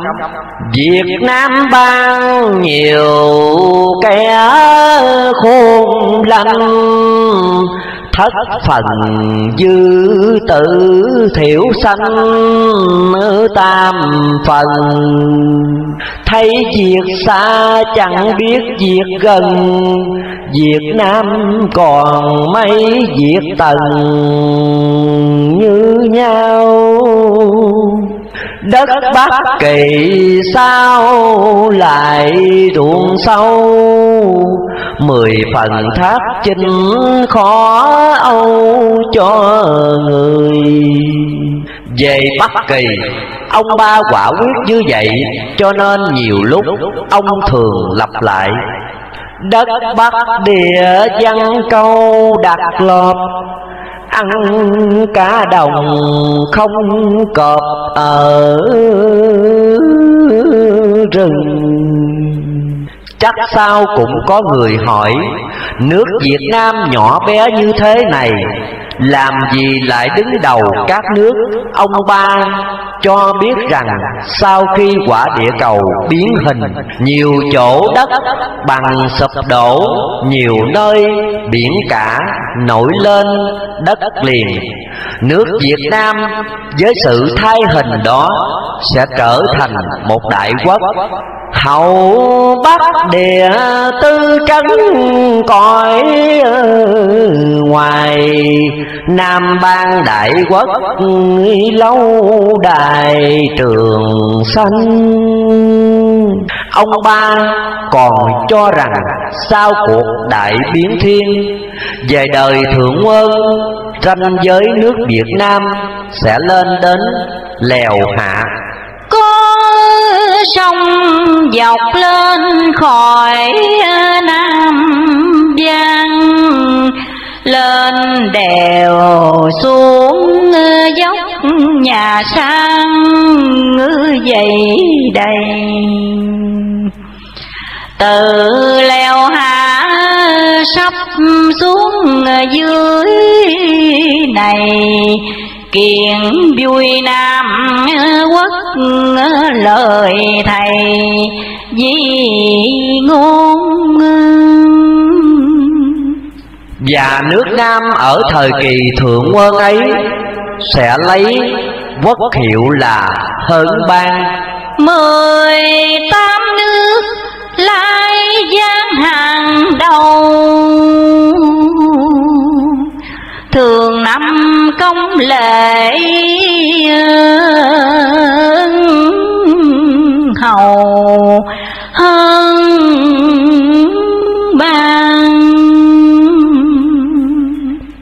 Không thấy ông ba cho biết các nước khác sau này sẽ thay đổi ra sao.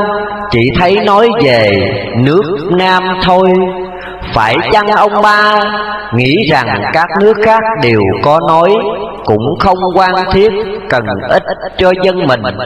Tốt hơn là mình nên biết mình, Để mà sớm sửa sang lo liệu tu hành về thế giới các nước sau này. Theo chúng tôi được biết, thì đức bổn sư núi tượng có để lại một bản đồ. Nghe đâu hiện nay trong môn đệ của ngài còn giữ. Nhưng tiếc gì chúng tôi không được thấy để coi cho biết nước nào còn, nước nào mất. Và mười tám nước còn lại là những nước nào? Di có nước Nam Thì thấy ông ba cho biết, Một vài biến đổi về địa hình. Như vài đoạn dưới đây Đây nói về Cần Thơ và Mỹ Tho.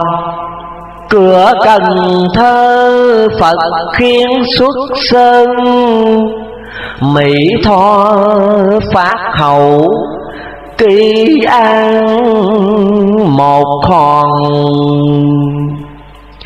về bạc liêu và hà tiên, ông ba cho biết, sao lặp lại bạc liêu? Thiếu muối, sao có nổi năm mười hòn nuôi đem lộn về. Muối núi à, hà tiên. Phép phật trời nhiều kẻ chẳng kiên. Nói về sông rạch và đường xe lửa có sông dọc nhiều chỗ gì kỳ. Đường ngồi xe lửa chạy thì bạc liêu. Về sông thì có sông dọc, sông ngang. Giáp bằng tiền, giáp diệt vào sang. Hồng ngự sao có sông ngang sơn chào. Giác lời chi Việc chánh việc tà. Sông dọc cần lô, Khỏi mà mỹ thôi Ngoài sông dọc, Đồng cần lố, Còn nổi lên nhiều núi. Đồng cần lố, núi nổi ờ, giáp dòng. Sông ngang sông dọc tại lòng Phật tiên.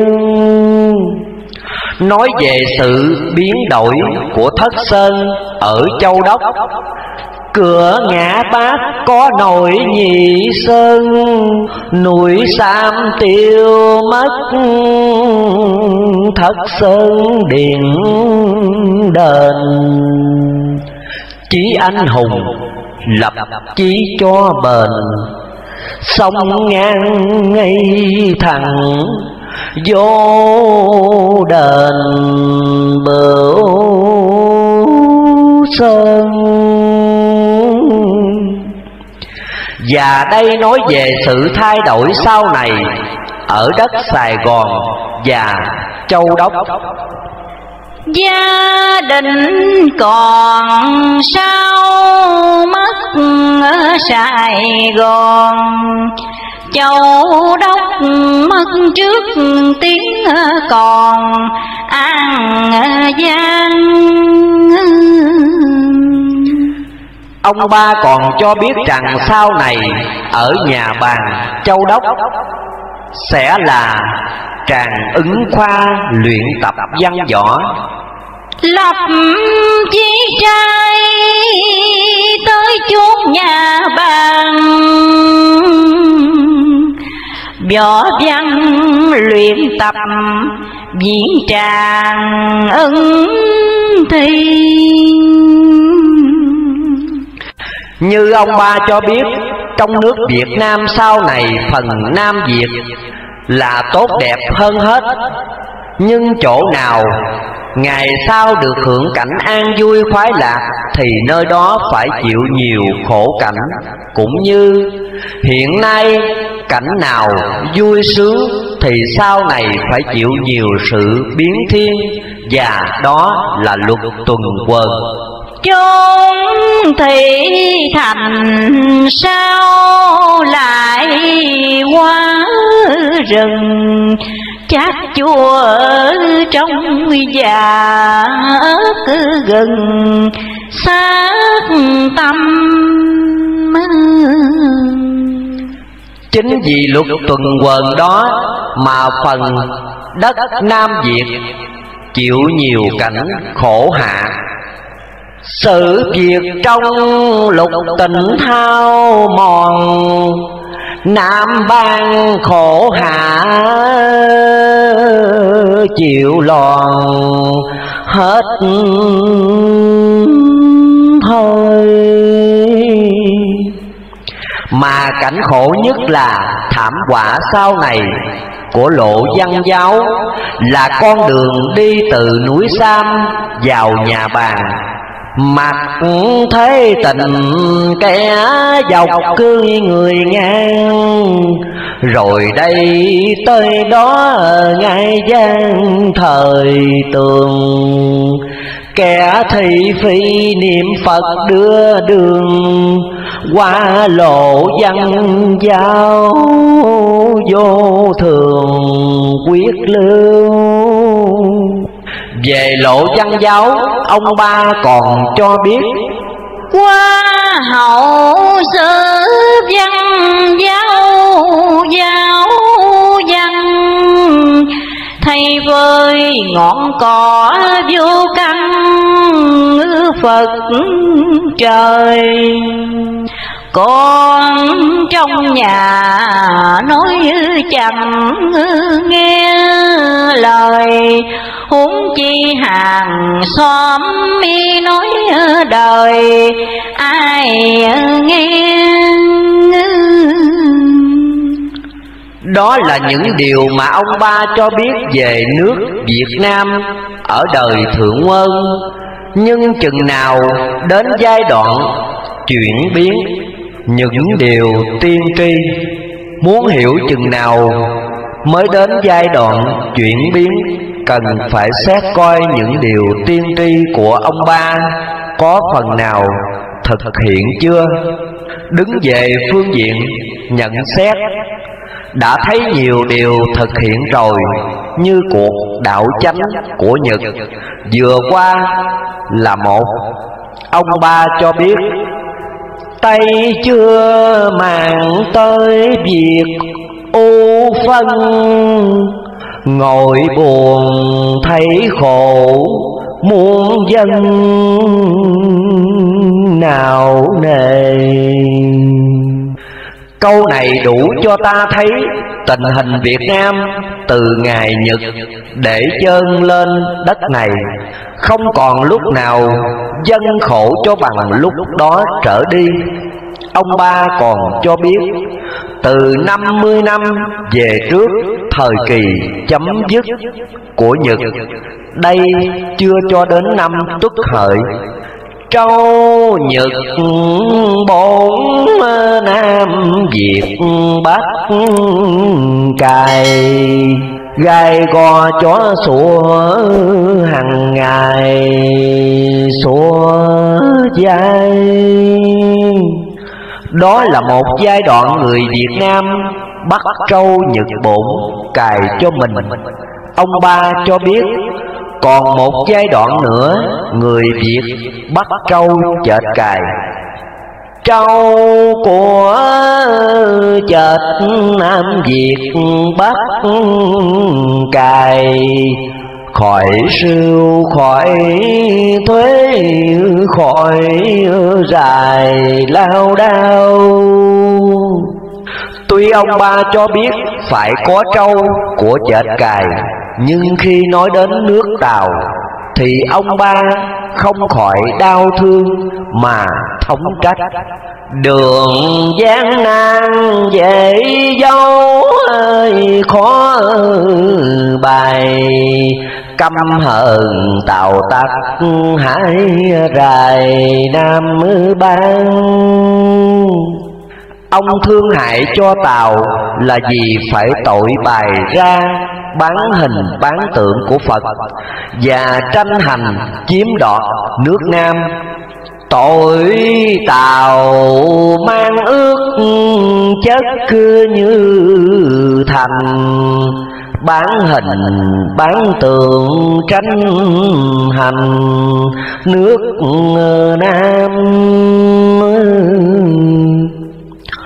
bởi thế khi lập đời lại, Người Tàu chỉ sống sót có một người trong mười người. Tội đại thanh bán ơi tường bán tranh. Quả hình bán Phật bất sanh chính phần. Ngoài nước Tàu, Ông ba còn cho biết Ấn Độ cũng mang đại khổ. Trời khiến siêu ách nước từ đây, chả già hai nước mất thấy chẳng còn. Ông ba không cho biết vì lý do gì Ấn Độ bị đại nạn như Tàu.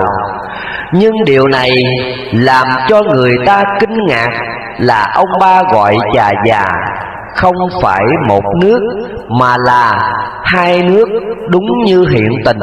Chia rẽ Ấn Độ làm hai nước, hồi Ấn. Một nước ở gần ta nhất là nước Tần. Ông ba cho biết sẽ gặp nhiều tai nạn như Tàu và Ấn Độ. Có ai từng ăn ốc cưa không gai? Ăn cơm không đũa đại tay nước tần. Và sau này nước tần sẽ hiệp về với hớn bang ở thời kỳ thượng quân. Ai từng làm ruộng không trâu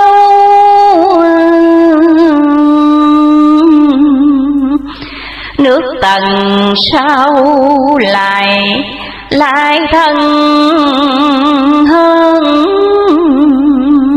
trào nhưng trước khi đi đến hội Long Hoa Nước Tần phải trải qua một thời gian đói khó.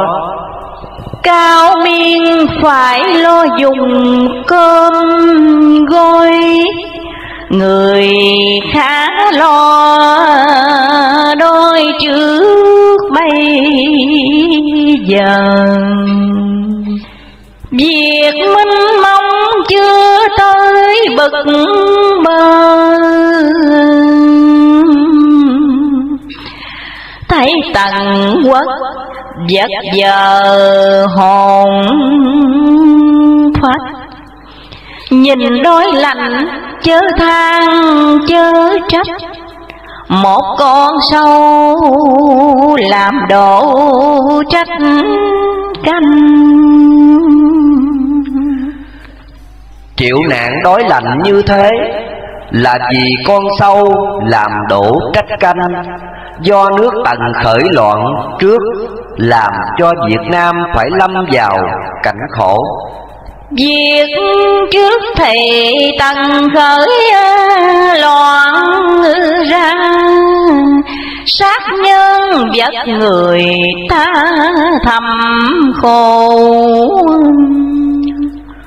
Tần khởi loạn, theo ông ba, là một điềm mở màn cho biết cuộc đời đã tới. Nhưng muốn xác định thời giờ, Ông ba cho biết rằng, Khi đời tới thì tự nước nào đánh nước nấy. Mình hại mình nói việc có căn Nước nào hại nay lăng xăng trở đời. Sự tận diệt của loài người, Theo ông ba, sẽ diễn ra bằng cuộc hội chiến Của mỗi nước, Cùng một lúc xảy ra nước nào đánh nước nấy.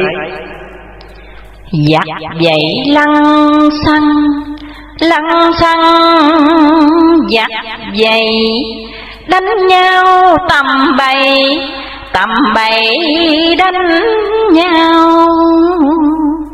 Nước nào ở đâu Ở đâu đánh đo. Vẫn nghèo thấy ngó Thấy ngó Vẫn nghèo. Người thác ba bèo, ba bèo người thác. Đâu đâu tan nát, tan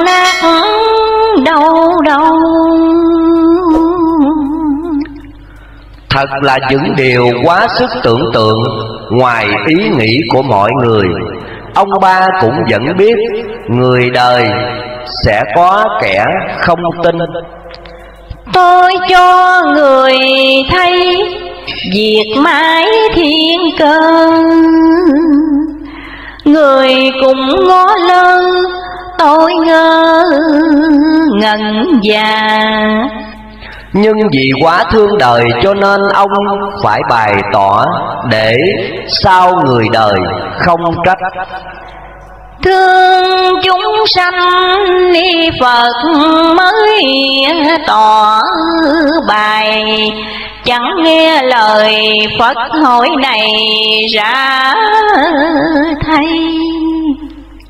Với những người thiện căn, Ông Bảo ghi nhớ những lời của ông rồi sẽ biết. Nói rồi cho nhớ lời ghi, Chừng nào thấy việc loạn ly biết lời. Nơi nơi khổ nào cho đời Dư trăm việc khổ biết lời để ghi. Nhưng hỡi ơi Mặc dầu ông hết tiếng nhắc nhở Mà người đời vẫn hí hận không lo. Bây giờ hí hận không lo Gặp cơn bát loạn nằm có kêu trời. Lo giàu ít kẻ lo đời.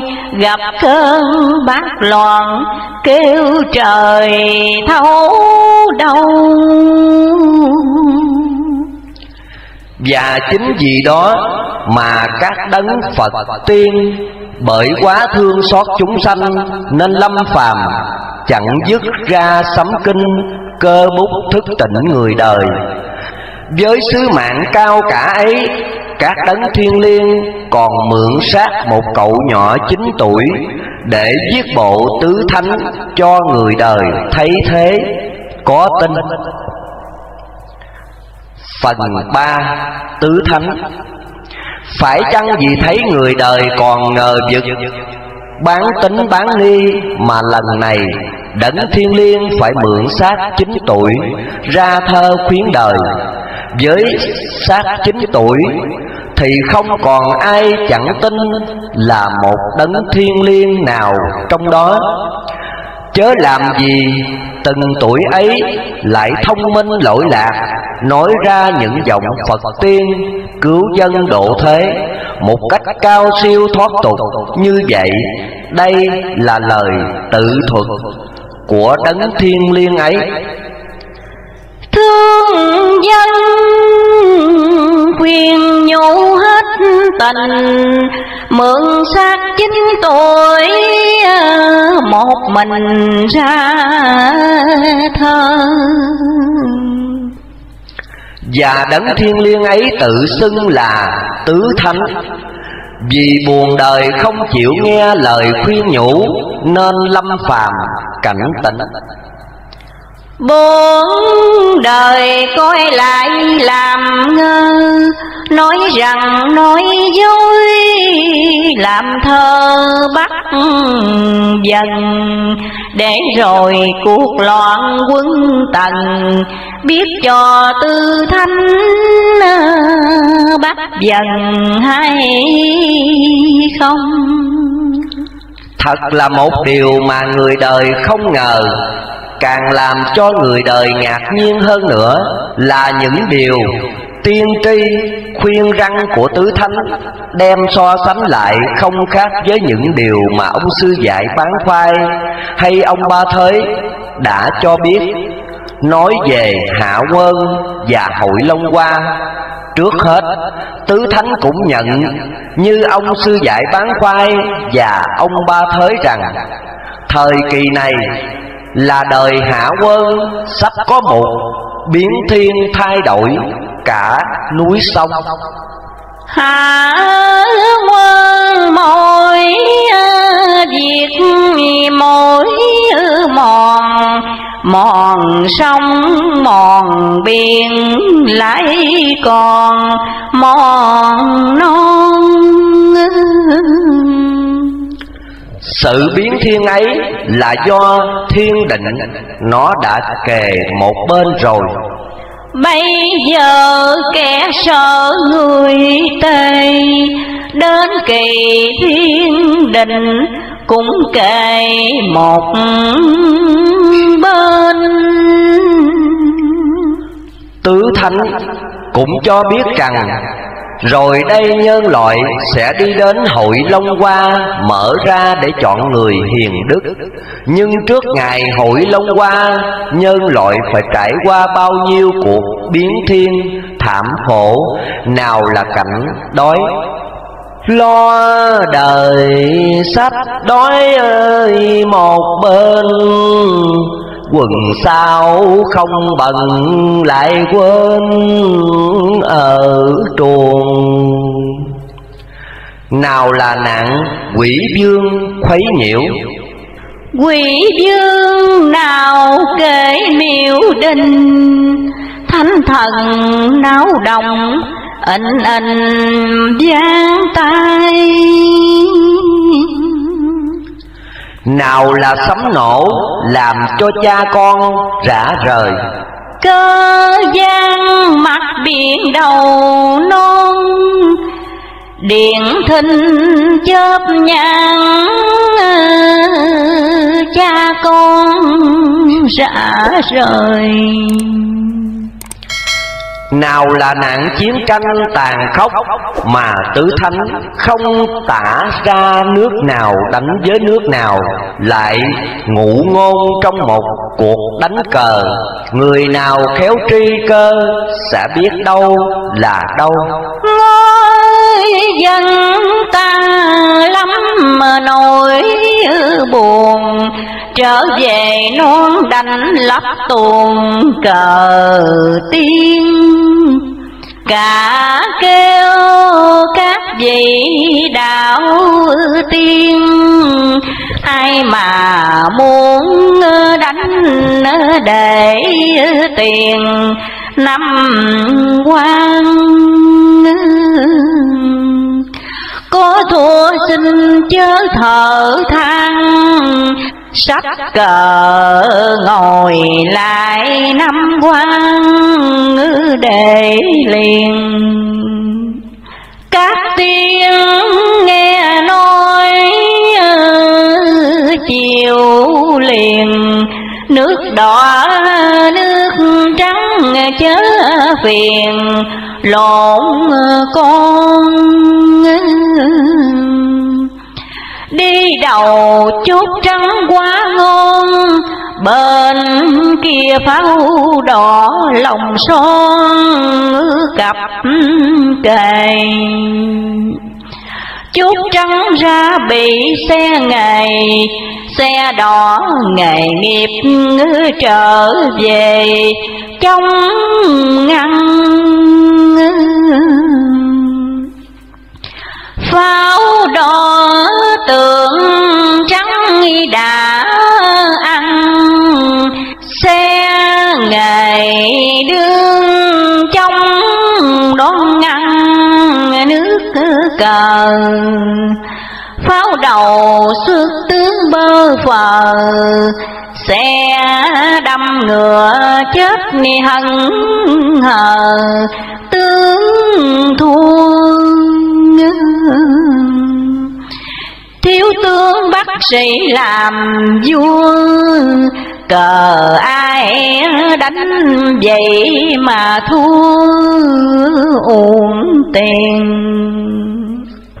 Sở dĩ tứ thánh không chịu nói trắng Là vì thiên cơ bất khả lậu.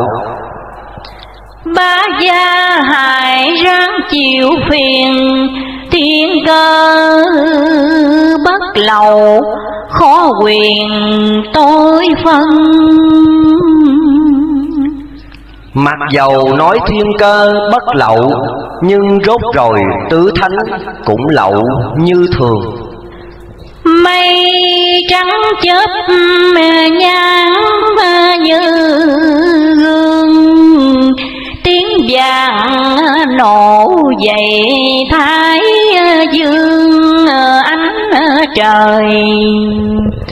Thiên binh thiên tướng đổi dời, Núi sườn sông mau gốc trời, khá ghê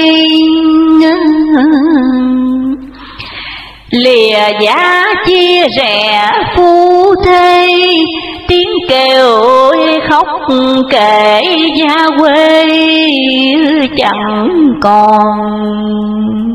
Xích tinh phượng phất lũ tròn Nguyệt tinh chớp nhang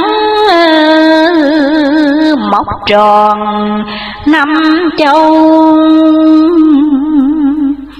Lao sao dân chúng khó âu, Sao dân tư hướng, Sức thâu ngân hàng.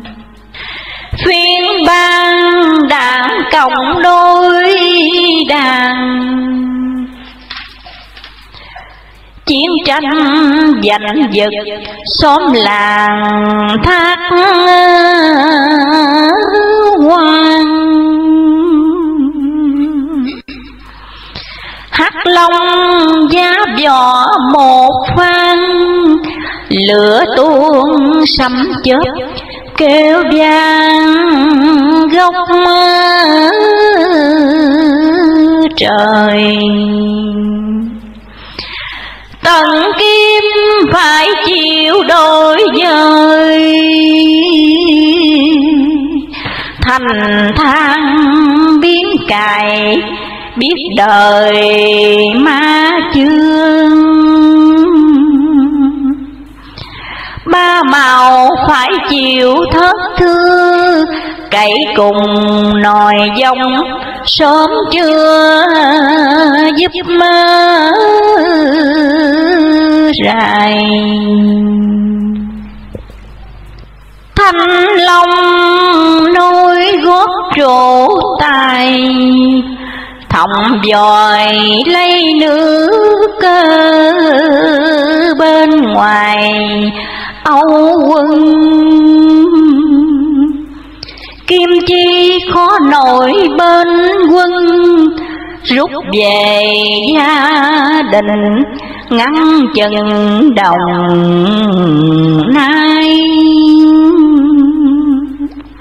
Trời ơi, sao ở biên bay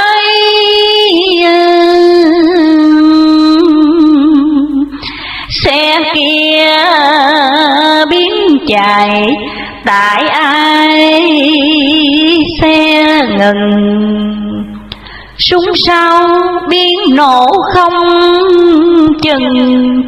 Chữ ban thập bát ngập ngừng, ngẩn ngơ. Ngồi buồn nói chuyện ba dơ cho ai hiểu chút.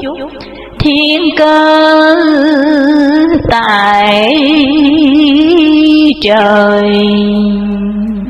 Tứ thánh lộ, thiên cơ, Nhưng thiên cơ ấy chẳng dễ gì đón nổi với những danh từ. Xích tinh, nguyệt tinh hắc long, kim quân, thanh long, vân vân. Có điều người ta để ý là tứ thánh cho biết, khi sấm nổ thì súng hết nổ. Ó biến bay, xe tăng biến chạy.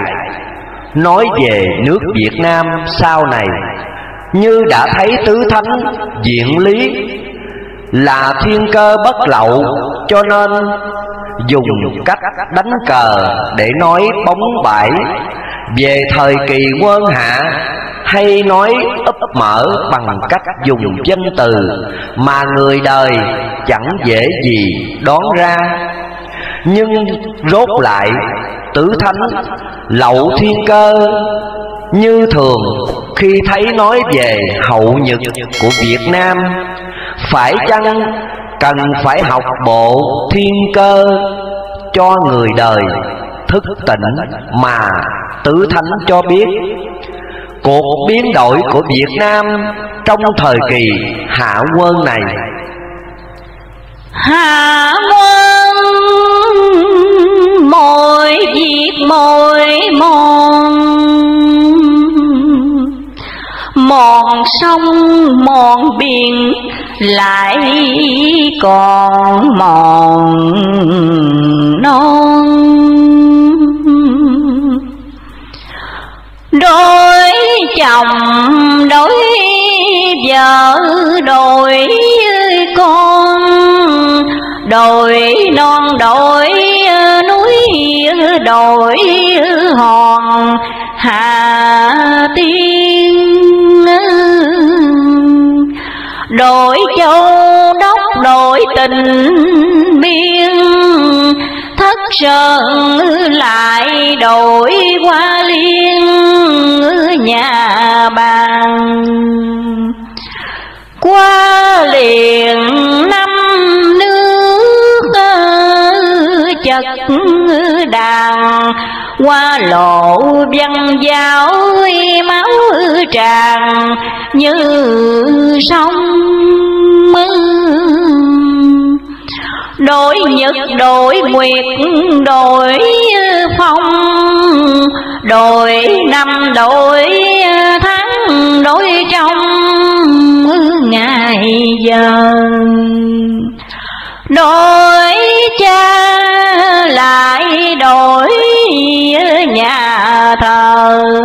Đổi cồn, đổi bãi, đổi cờ nam Bang.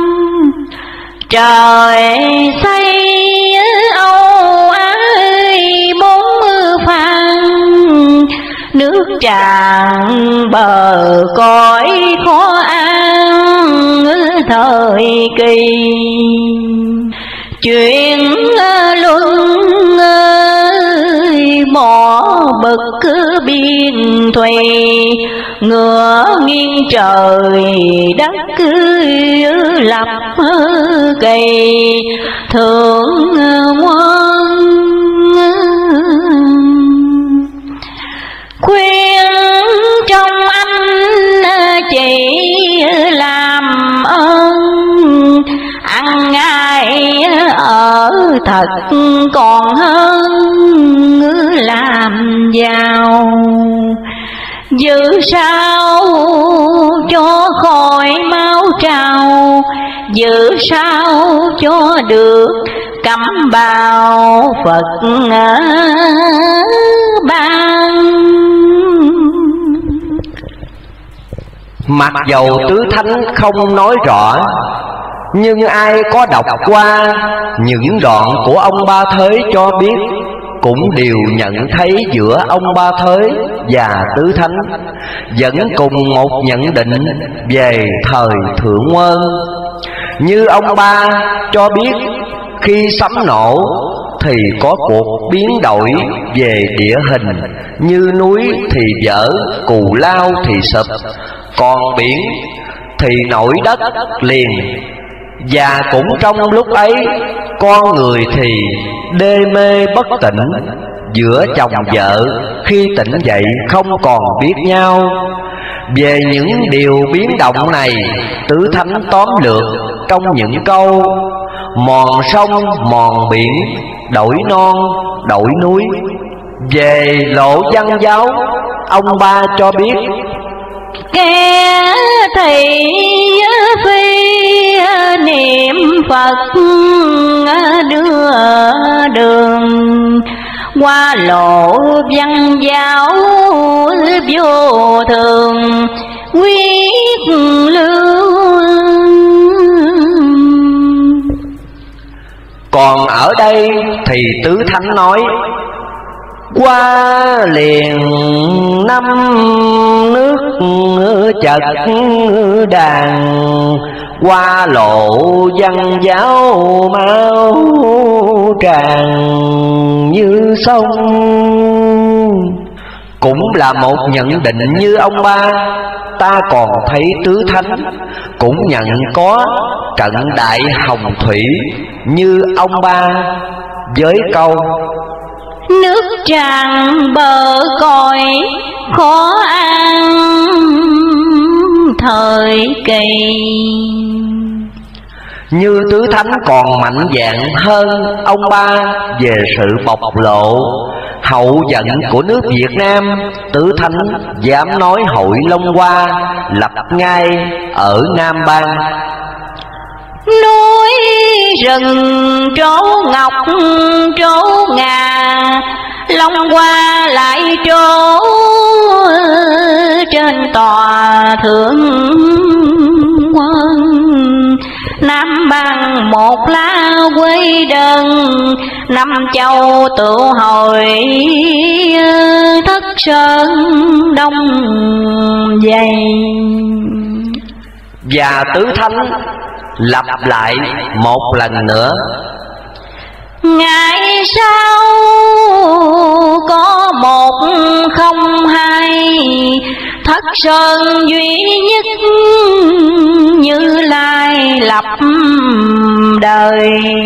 Trăng lặng rồi kế mặt trời, Gió thời hai ngọn đổi dời cũng không? Ngồi buồn nói chuyện mênh mông, kẻ lành nghe vậy, thì mong tới đời. Một lần nữa, lời tiên tri của ông ba thới cho biết ngày sau đêm nào cũng có trăng.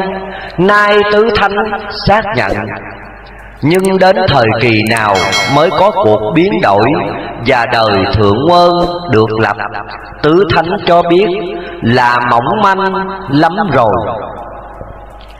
cũng gần sắp chỗ nhà nam, nay còn phong kiến ờ, tứ tam tranh giành sắp đời như sợi chỉ mạnh treo chuông khó nổi ờ, chuông lành hỡi chuông và nó sẽ báo hiệu bằng cuộc khởi loạn của quân tần, đúng như sự nhận định của ông ba thới. Để rồi cuộc loạn quân tần, biết cho tư thánh bắt cứ dần hay không và đến khi đó thì nhân sanh phải chịu nạn đói, thế nên tứ thánh khuyên, khoai lang lại với khoai mì, Đến khi tận khởi độ thì khẩu tan cứ theo tứ thánh thì cuộc biến động vẫn xảy ra ở thị thành trước rồi sau mới lan tràn đến thôn quê. Châu thành pháo nổ khối bay tiếng rền dậy đất Hòa lay xóm làng. Trời ơi, khó nổi dân nhàn, Giỏi chi thầy Pháp đặt đàn tông ôn Tông châu thành lại tông thôn Thuốc nam rồi lại ờ, cúng quần về Nam nhưng chịu khốn khổ nhất trong nước Việt Nam có lẽ là miền Long Châu, tức Long Xuyên và Châu Đốc. Ghe thuyền kẻ tới người lui. Giữ lời Phật dạy nhùi trui núi rừng. Sơ tiêu một cuộc không chừng, Lòng châu ước giáp Phật trần loài gian. Thấy nằm chật đất ngổn ngang, dầu à trôi sóng dập ngổn ngang hai hồ mà sở dĩ có cảnh núi xương sông máu như thế là vì người đời không ưa phật trời. Nghĩ thương dân chung thất thương cũng vì ba tánh không ưa Phật trời. Nói rằng Phật ở xa Trời cao dấp giới ờ, Vậy thời biết ờ, chi. Hay có giả ưa Phật trời, nhưng tu không thật tâm, không thương đến kẻ nghèo đói. Tu sao thầy chết như bèo ngổ ngang dầu sông kẻ nghèo chẳng thương. Rau cùng khắp hết bốn phương sao không thức giấc nghi hoàng lương dòm trời tu sao thay chết như bèo ngổ ngang dầu sống kẻ nghèo chẳng thương. Rau cùng khắp hết bốn phương sao không thức giấc như hoàng lương dòm đời Ngoài hai tỉnh Long Xuyên, Châu Đốc chịu đại nạn, Tứ Thánh còn cho biết một vài nơi khác như Sài Gòn và Gia Định. Sài Gòn gia Định ai ngờ Nước đâu mà lại lỡ bờ Lướt cây Như Nam Giang. Nam Giang nhà gạch nhà vui Ngày sau kiếm trại lá ngồi không ra Như ai cũng biết quyển Tứ Thánh ra đời từ năm sáu mươi năm nay trong lúc nước Việt Nam còn đặt dưới quyền bị trị Thế mà đã cho biết, về cuộc độc lập sau này, Anh em cứ nghiệm lấy tình hình hiện nay Với những câu tứ thánh nói đây, Coi có phần nào đúng không? Nói ra, nước mắt chan hoàng Thương cho anh chị, khó mà thoát thân. Điền thương hại khó phân, Không toàn độc lập, nhân dân như bèo. Tại ai cầm lái phân lèo tìm tăng thế giới chịu nghèo lâu năm. Và đây là lời tiên tri chỉ còn chờ lời đáp của thời gian. Thương công chúa còng trang dầm vào sanh ra tự lại lầm kế ai rồi đây đức giáo chủ, hòa hảo còn tiên tri nhiều điều rất ứng nghiệm với thời cuộc hơn nữa. Chương thứ năm, phật giáo hòa hảo, một đức quỳnh giáo chủ. Như mọi người đều biết, ở việt nam có hai đạo và phật giáo như mọi người đều biết ở việt nam có hai đạo giáo mạnh nhất là cao đài giáo ở miền đông và phật giáo hòa hảo ở miền tây Đức Quỳnh giáo chủ ra mở đạo nhằm năm kỷ mão 1939 cho đến nay trong vòng 14 năm, một thời gian rất ngắn đối với các đạo giáo khác. Thế mà hấp dẫn một số tín đồ không thể tưởng tượng. Hầu hết các tỉnh miền tây, đa số dân chúng đều quy ngưỡng theo đạo phật giáo hòa hảo. Riêng hai tỉnh châu đốc và long xuyên, tỷ số tín đồ hòa hảo chiếm từ tám chục đến chín chục phần trăm trong toàn số dân chúng. Như thế, đức quỳnh giáo chủ phải có sức màu nhiệm gì mới có thể thức tỉnh được một số? Theo sự nghiên cứu, chúng tôi nhận thấy có nhiều nguyên nhân mà chúng tôi xin tóm lược. Như dưới đây, một, bản thân của đức quỳnh giáo chủ vốn ngài xuất thân là một người ít học cứ theo được biết, thì ngài học đâu đến lớp ba trường làng. Vì mãi đau ốm mà không theo đuổi nữa được. Bỗng một hôm, ngài được sáng tỏ phi thường đến các hàng cử nho ở trong thôn.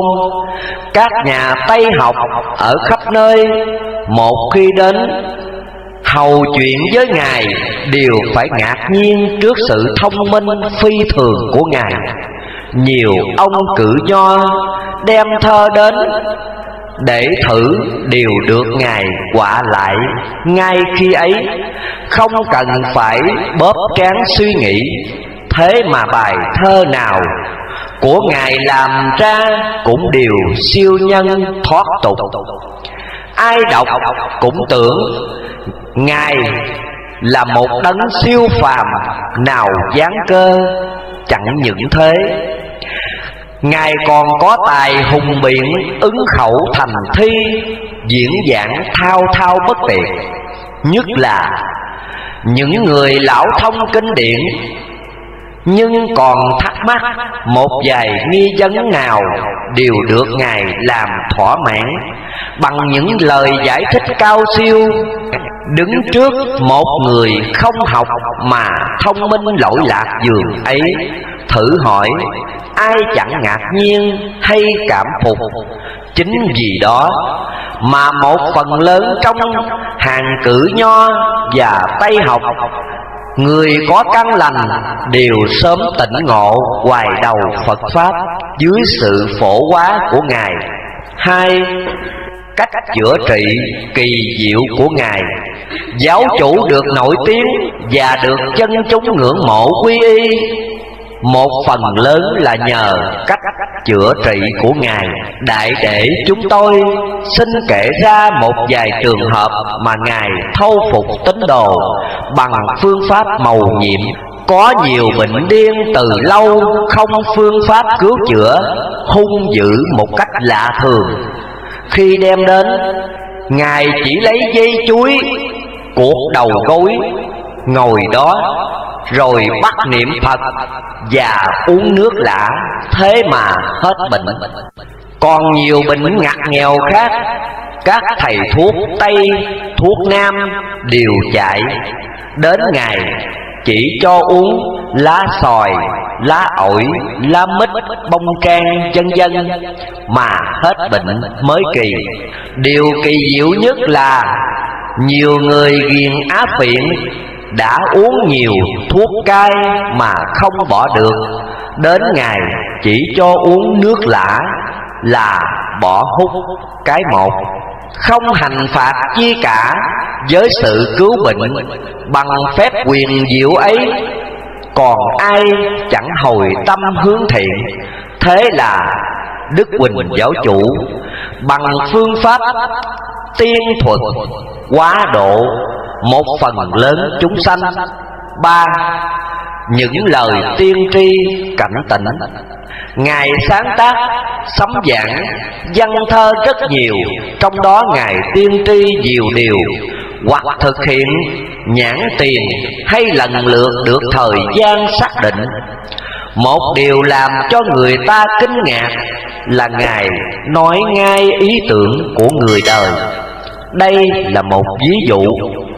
Một hôm có một ông lão cử nho đến tính thử ngài, Có làm sẵn hai bài thi nặng nọt suốt đêm. Khi ông lão, nhà nho ấy vừa bước đến, Chưa kịp trình thơ ấy ra, Thì ngài đã ra đón trước. Dỗ dai ông lão mà nói rằng Ý ông muốn làm thơ lắm phải không? Được, thôi Thì vào đây làm thơ với tôi chơi Nói rồi Ngài mời ông lão vào nhà Liền lấy giấy viết Làm hai bài thơ cao cho ông lão Một điều làm cho ông lão kinh hồn là hai bài thơ ấy đã quả nguyên giận hai bài thơ còn trong túi của ông. Chính nhờ có tha tâm thông và những lời tiên tri linh ứng mà đức quỳnh giáo chủ đã cảnh tỉnh phần lớn người đời. Bốn, những pháp môn hành đạo. Mặc dầu đạo phật đã mở ra khắp trong nước nhưng kẻ sùng ngưỡng lại rất ít. Một phần là do các nhà nho tu theo thần tú bày ra bao nhiêu điều mỹ dối làm cho phật pháp. Một ngày một suy đồi dân chúng, một ngày xa cửa thiền. Một phần lớn cũng vì chán ghét cách tu giả dối ấy, đức giáo chủ ra đời nêu lên một pháp môn vô vi đúng chân truyền của đức thế tôn cực lực bài xích những điều mỹ dối của phái tu theo thần tú. Những người có căn lành nhận thấy pháp môn của ngài rất thích hợp, nên quay về với pháp môn vô vi của phật. Ngoài số người tu theo pháp môn vô vi, còn những tín đồ của đức phật thầy tây an trước kia cũng quay về với đức quỳnh giáo chủ ai cũng nhận thấy ở miền Tây, nhất là tỉnh Châu Đốc và Long Xuyên, đa số dân chúng đều tu theo phái của Đức Phật Thầy Tây An. Nay Đức Quỳnh Giáo Chủ ra đời, nêu lên một giáo pháp mà những tín đồ phái Phật thầy nhận thấy không có chỗ nào khác với những điều mà Đức Phật Trùm, Đức Phật thầy Tây An, ông sư dạy bán khoai đã dạy, nhất là Đức Phật thầy Tây An, chẳng hạn như Đức Quỳnh giáo chủ giải về tứ ân. Một, ân tổ tiên cha mẹ. Hai, ân đất nước. Ba, ân tam bảo. Bốn, ân đồng bào nhân loại. Thì không có chỗ nào khác. Đức phật thầy tây an cả. Thứ nhất là khi đọc sấm giảng của đức quỳnh giáo chủ, những người tu theo đức phật thầy tây an, ông sư dạy bán khoai vân vân thấy sao? Cả vừa tư tưởng lẫn câu văn nó giống như do một người sáng tác.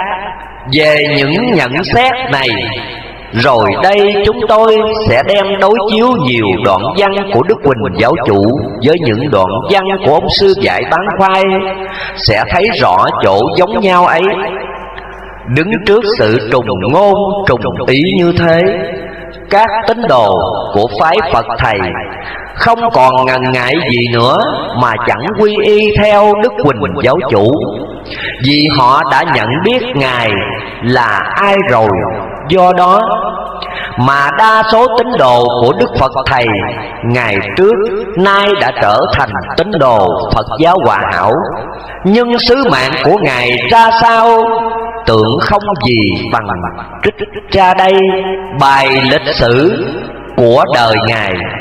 Do Ngài viết ra từ năm 1942 Lịch sử Đức huỳnh Giáo Chủ. Ngày 18 tháng 5 năm kỷ mão, Vì thời cơ đã đến, Lý Thiên Định hoạch định cuộc nguy cơ Thảm họa sắp tràn lan. Ta đây tuy không thể đem phép huệ linh Mà cứu an tai họa chiến tranh tàn khốc Do loài người tàn bạo gây nên. Nhưng mà thử nghĩ, Sinh trong dòng đất Việt Nam này Trải qua bao kiếp, Trong địa cầu lăn lộn mấy phen, Tuy có phải chuyển kiếp luân hồi ở nơi hải ngoại để thu thập những điều đạo học kinh nghiệm quyền thâm. Lòng mê si đã diệt, sự dị kỷ đã tan, mà kể lại nguồn gốc phát sinh, trải bao đời giúp nước vùa dân cũng đều mãi sinh cư nơi đất việt. Những tiền kiếp, giàu sống cũng là dân quan đất việt dầu thác cũng quỷ thần đất diệt chớ bao lìa. Những kiếp gần đây may mắn gặp minh sư cơ truyền Phật Pháp. Gọi nhuần ân Đức Phật, Lòng đà quảng đại từ bi. Hèm gì nổi cảnh quốc phá gia vong mái quyền cơ đã định lòng thương trăm họ dướng cảnh đồ. lao chi xiết xót thương chúng sanh dạng khổ. Nghĩ lúc còn làm người trong biển tục lăn lộn trốn mê đồ. Mà chẳng quản thân giúp thế cứu dân dòng thân dị quốc. Huống chi nay cơ màu đà thấu tỏ sớm chiều hầu chân phật nghe kinh ngao du tứ hải, dạo khắp tiên bang cảnh an nhàn của người liễu đạo. Muôn ngày vô sự, lóng sạch phàm tâm, sao chẳng ngồi nơi ngôi vị hưởng quả bồ đề trường thọ mà còn len lỏi xuống chốn hồng trần, đặng chịu cảnh chê khen. Vì lòng từ ái chứa chan, thương bách tính tới hồi tai họa, phật dương đà chỉ rõ mái diệu quyền chuyển lập hội long hoa, chọn những đấng tu hành cao công quả để ban cho xứng vị, xứng ngôi.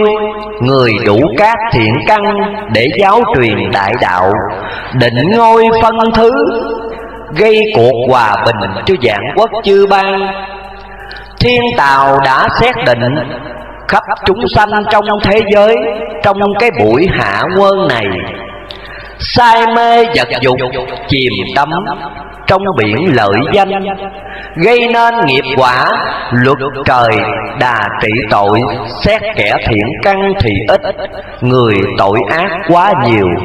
Chư Phật mới nhủ lòng từ bi cùng các vị chân tiên lâm phàm độ thế trước, ra công cứu khổ.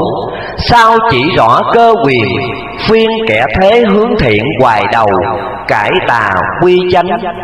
Thì mới mong thiên đình ân xá bớt tội căn, để kiếp đến long hoa chầu phật.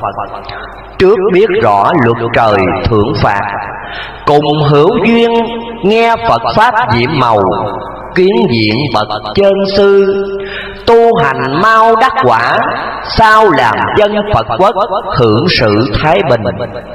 Bởi đời này pháp môn bế mạc, thánh đạo trăng du, người tâm trí tối đen, đời lẫm ma dương khuấy rối ta là một trong các vị cứu đời ấy ai liễu đạo nơi quốc độ nào thì cũng phải trở về quốc độ ấy mà trợ tế nhân dân vì thế, lòng từ bi bác ấy cùng thù đáp những linh hồn đã trợ duyên trong nhiều kiếp giúp ta nương cậy tu hành. Nên ngày 18 tháng 5 năm kỷ mão, ta qua hiện ra đời, cứu độ chúng sanh. Tuy là nhân dân mới rõ pháp, mà tưởng rằng ta thượng sát cởi đồng. Chớ có về đâu, chuyện kiếp đã từ lâu. Chờ đến ngày ra trợ thế nên phương pháp của ta, tùy trình độ cơ cảm của tính nữ thiện nam, trên thì nói Phật Pháp cho kẻ có lòng mộ đạo quy căn, Gây gốc thiện duyên cùng thầy tổ. Dưới dùng quyền diệu của tiên gia độ bệnh, để cho kẻ ít căn lành nhờ được mạnh mà cảm lòng từ bi của chư vị với trăm quan thảm thiết lê dân lầm than thống thiết mà lời lành nghe tựa hồ dư nhớ như quên. Nên kẻ xa xôi từ văn chẳng tới, người láng giềng tiếng kể nhàm tai. Đến trung tuần tháng 8 Ta cùng Đức Thầy mới tá hiểu khùng điên. Mượn bút mực, Tiết lộ lấy thiên cơ, Truyền cho kẻ xa gần đều rõ biết. Hầu ăn năn cải quá, Làm lành, Còn kẻ chẳng tĩnh tâm sao đền tội, Cũng chẳng trách Phật tiên không chỉ bảo. Vẫn biết đời lan xa thống trị, Phép nước nghiêm hình. Dân chúng nếu yêu thương Sẽ lắm điều hiềm khích. Nhưng mà ta nghĩ nhiều tiền kiếp, Ta cũng hy sinh vì đạo. Nào quản sát thân, Kiếp chót này đây.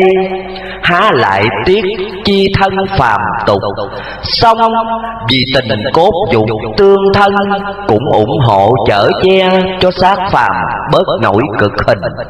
Bạc Liêu, ngày 18 tháng 5 năm nhâm ngũ, năm 1942 Đối chiếu tư tưởng để nhận thấy chỗ liên hệ giữa Đức Phật Thầy Tây An, ông sư dạy bán khoai với Đức Quỳnh giáo chủ. Tưởng cũng nên đem đối chiếu những tư tưởng đồng nhất giữa ba ngày. Trước hết, ta nhận thấy rằng trong phái Phật Thầy các ngài một khi lâm phàm cứu thế đều xưng khùng xưng điên ý chừng, đối lại người đời, xưng khôn, xưng lanh. Thường khinh khi phật tiên thần thánh. Mặc dầu xưng khùng, xưng điên, nhưng đối với những người có thiện căn, các ngài không hẹp lượng mà chẳng cho biết rằng khùng điên là của phật của thầy chứ không phải của những người lãng trí. đây là một đoạn văn ông sư dạy bán khoai xưng khùng xưng điên. điên. Này điên phật điên thầy. Chẳng sợ ai rầy nên nói cụ Ta hãy xem một đoạn văn dưới đây của Đức huỳnh Giáo Chủ, Thì sẽ thấy chỗ đồng nhất tư tưởng ấy. Bởi chữ khung của Phật của Thầy, Chớ chẳng phải của người làng trinh bởi khùng điên của Phật của Thầy Cho nên rõ thiên cơ Đón biết âm dương kết liễu. Đây ta hãy đọc Ông sư dạy bán khoai. Khùng sao mà biết thiên cơ Cũng là Phật khiến cho khùng dạy điên. Cũng đồng một tư tưởng này Đức Quỳnh giáo chủ đã viết. Khùng đoán biết âm dương kết tư liệu, Khùng quyền cơ, khùng đạo thức tri ca Ngoài sự xưng hô giống nhau Chúng ta còn thấy cả sự nhận định thời cơ cũng giống nhau nữa. Ông sư dạy bán khoai viết. Hết đây đến nước gì kỳ Dỗ dành thiên hạ Vậy thì chẳng an. Đến Đức Quỳnh giáo chủ cũng thế Hết đây rồi đến dĩ kỳ. Sưu cao thuế nặng vậy thì thiết tha Xưa nay sự trùng ngôn, trùng ý Vẫn là điều thường thấy xảy ra luôn. Nhưng chúng tôi dám chắc chắn Chẳng bao giờ có một sự đồng nhất tư tưởng như thế này. Trong quyển sấm giảng người đời, Ông sư dạy bán khoai. Trong cuộc đi phổ độ chúng sanh, Thường nói là một thầy ba tớ. Đây là lời ông sư dạy bán khoai, tự thuật. Chừng nào nước chảy đông nguồn một thầy ba tớ hết đường lao đao.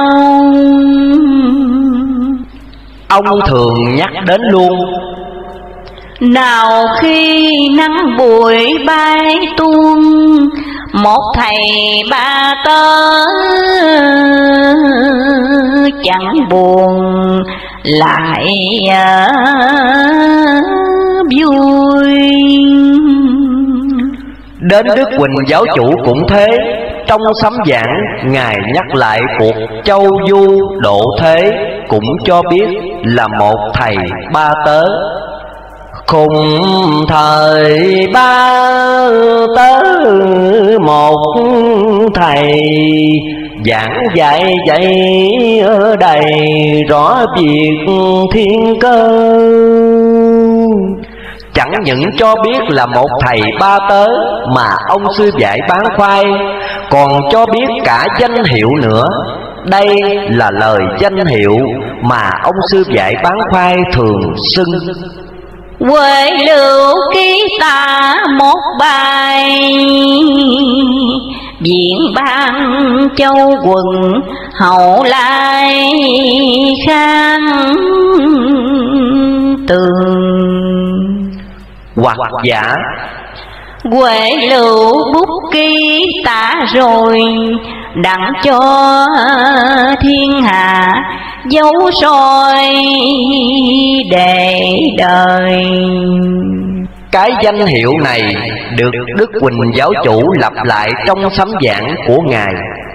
Đừng thấy ngu dại mà khi Thầy là quế lưu tớ thầy, quế tâm Khi đọc đến đoạn này, Thử hỏi, Còn có tín đồ nào của ông sư giải bán khoai Không nhận thấy chỗ xuất xứ của Đức Quỳnh giáo chủ? Họ không còn ngần ngại gì nữa, Mà chẳng nhận Đức Quỳnh giáo chủ, Là chuyển kiếp của ông sư giải bán khoai. Thật thế, Chúng ta hãy đọc đoạn văn này Của ông sư giải bán khoai. Tôi đâu mà có ai thân.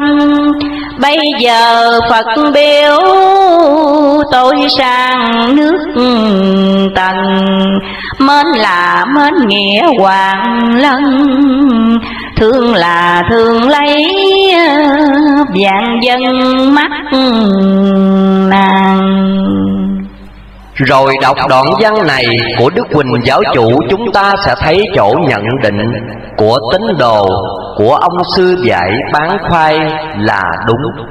Dạy đạo chánh vì thương Nam Việt, Ở cao miên vì mến nữ tần hoàng trở về nam y đặng có sửa sang cho thiện tính được rành chân ly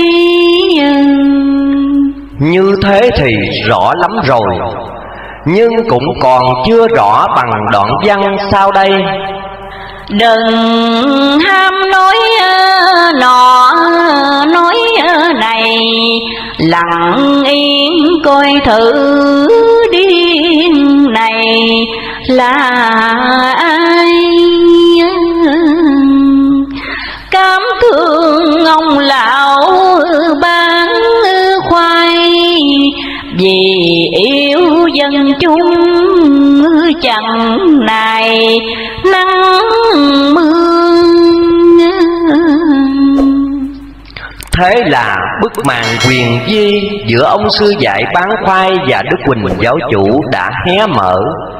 Chẳng những thế, mà bức màn quyền di giữa Đức Phật Thầy Tây An và Đức Quỳnh giáo chủ cũng được dán lên Đức Quỳnh giáo chủ cho biết Khùng thời quê ngủ núi Sam còn điên chẳng có nghe chùa am dưới này. Núi Sam là chỗ Đức Phật Thầy Tây An đã tịch. Cho nên khi nói đến núi Sam là tín đồ phái Phật Thầy, Hiểu ngay là chỉ Đức Phật Thầy Tây An. Mặc dầu cho biết là quê ngụ núi Sam, Để cho dân chúng đừng nghi nan nhưng Đức Quỳnh giáo chủ vẫn thấy người đời còn thờ ơ Cho nên không dứt Lặp đi lặp lại. Thương lê thứ bài tường trong đục Mặt ý ai nghe phải thì làm Lời của người di tịch núi Sam, Chớ chẳng phải bài điều quyên hoặc. Canh thiên trước thơm tho, nồng nặc chẳng ở yên, còn xuống phàm trần ấy vì thương trăm họ vàng dân, nên chẳng kể tâm thân lao khổ và quay dốt khuyên người tính ngộ, và bắn buôn thức giấc người đời.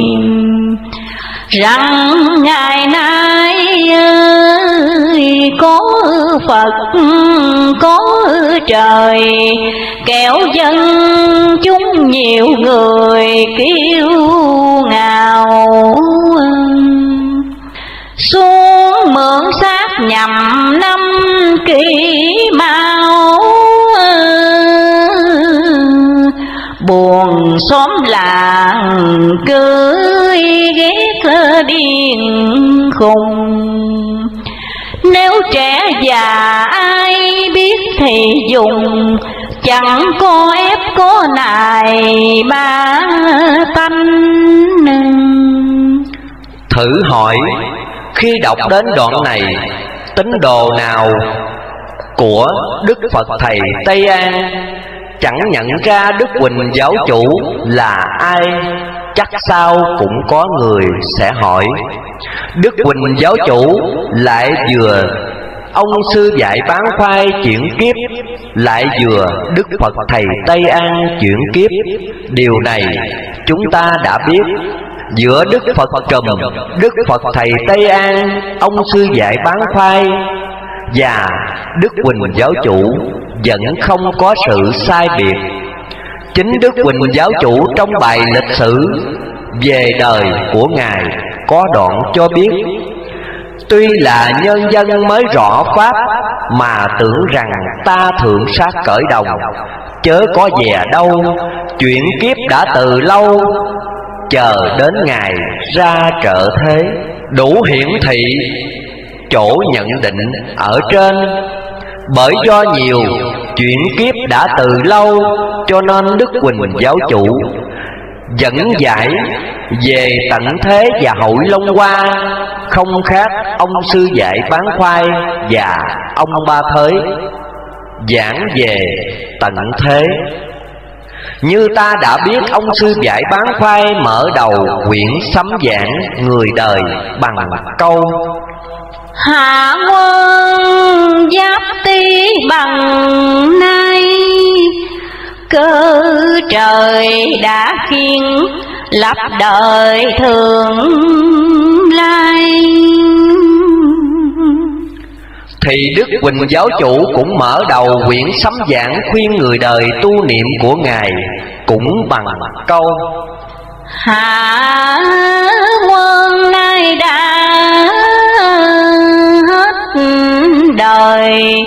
Phong ba biến chuyện đổi dời. Gia can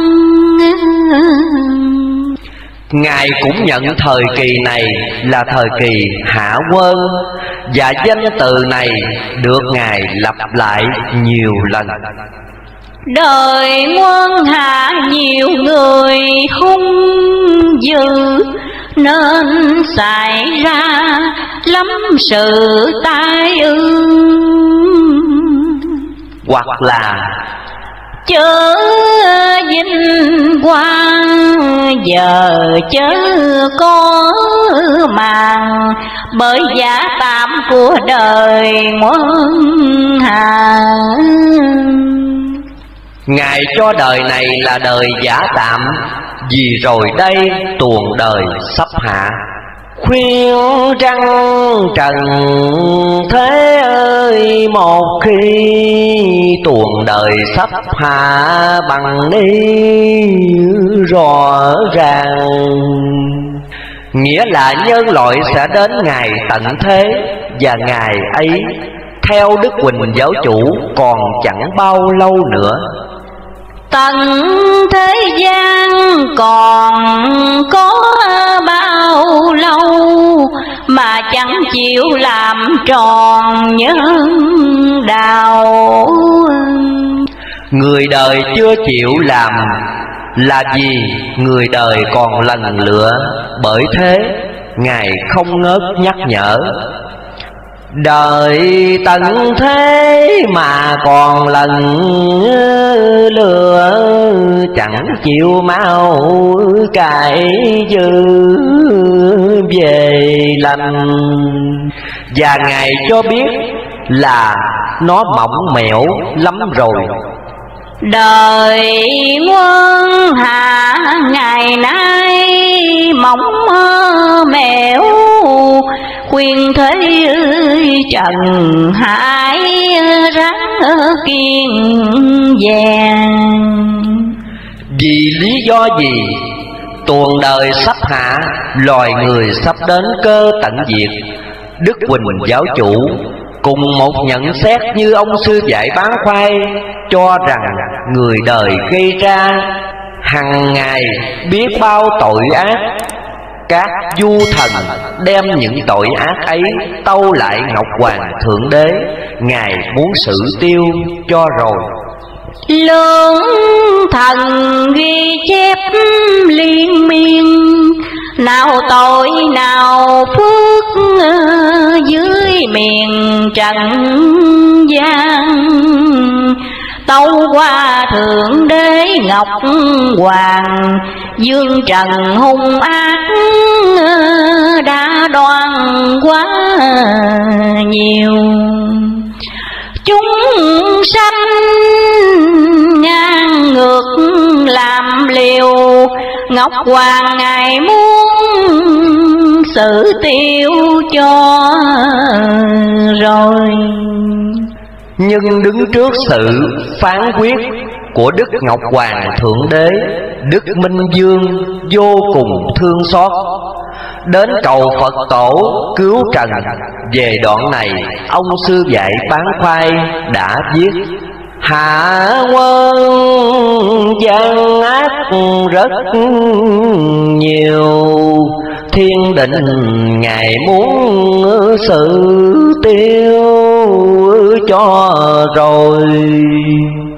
Minh Á Dương không xiết hỡi ôi, Lo mưu định kế cứu rài hạ quân liền qua tay dứt linh sơn.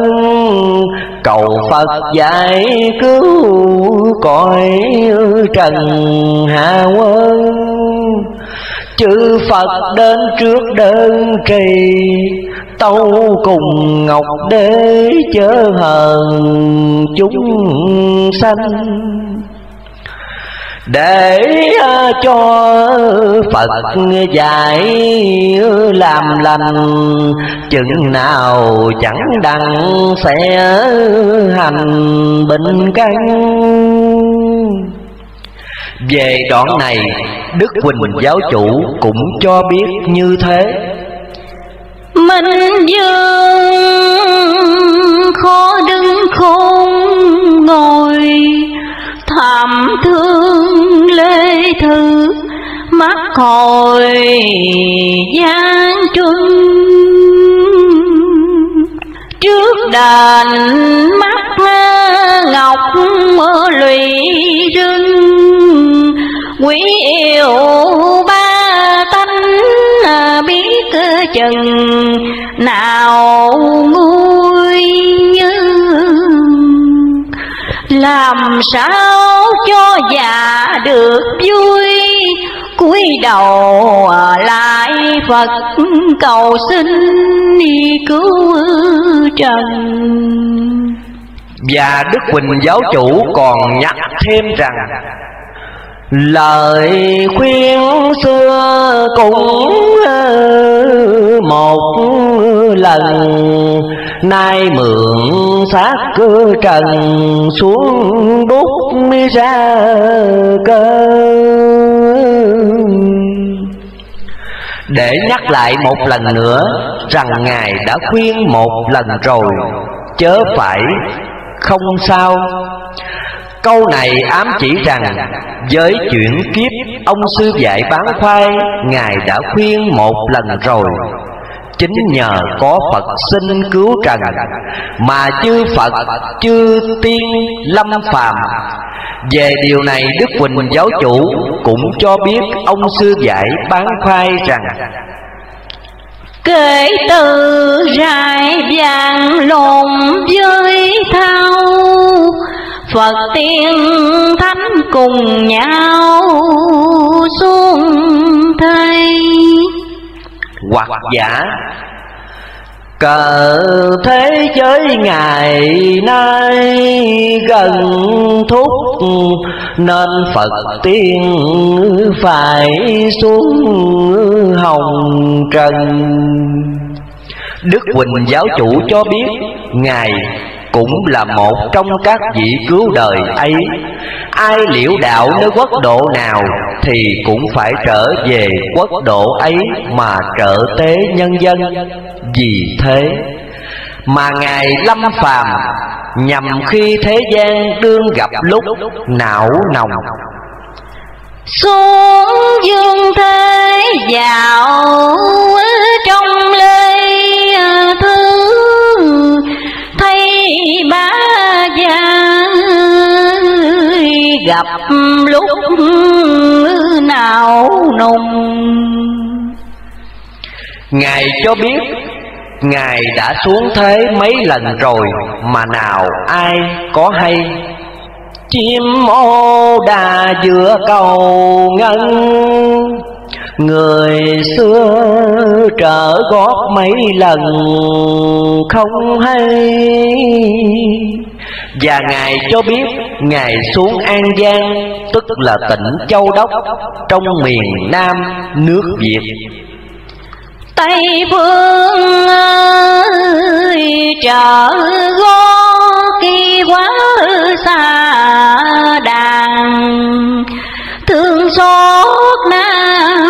kỳ lại an giang. Đôi thay xóm làng thêm bắc trang yêu đời mê bụi luôn bầm gan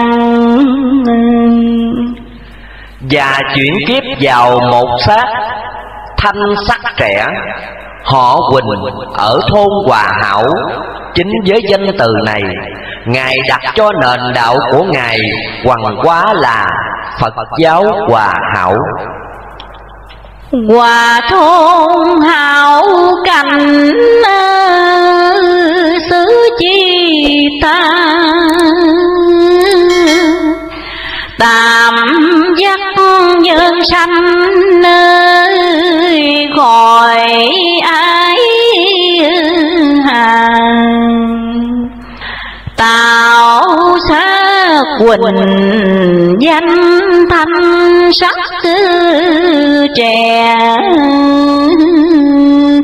Chờ thời thiên đình thiết hùng ca năm ngày lâm phàm là năm kỷ mão. Xuống mượn sát nhầm năm kỷ mạo buồn sớm làng cứ ghét điên khùng. Hoặc giả, kỷ mão hạ sáng mượn sát trần. Cánh tình đồng lối lão khuyên dân. Thầm thầm đây đó niềm liên ái hợp tác cùng nhau nôi bút thần ngài xuống thế để nối bút thần, tiếp tục công cuộc cứu thế của ngài. Nhưng lần chuyển kiếp này, sứ mạng của ngài ra sao? Có giống mấy lần chuyển kiếp trước không?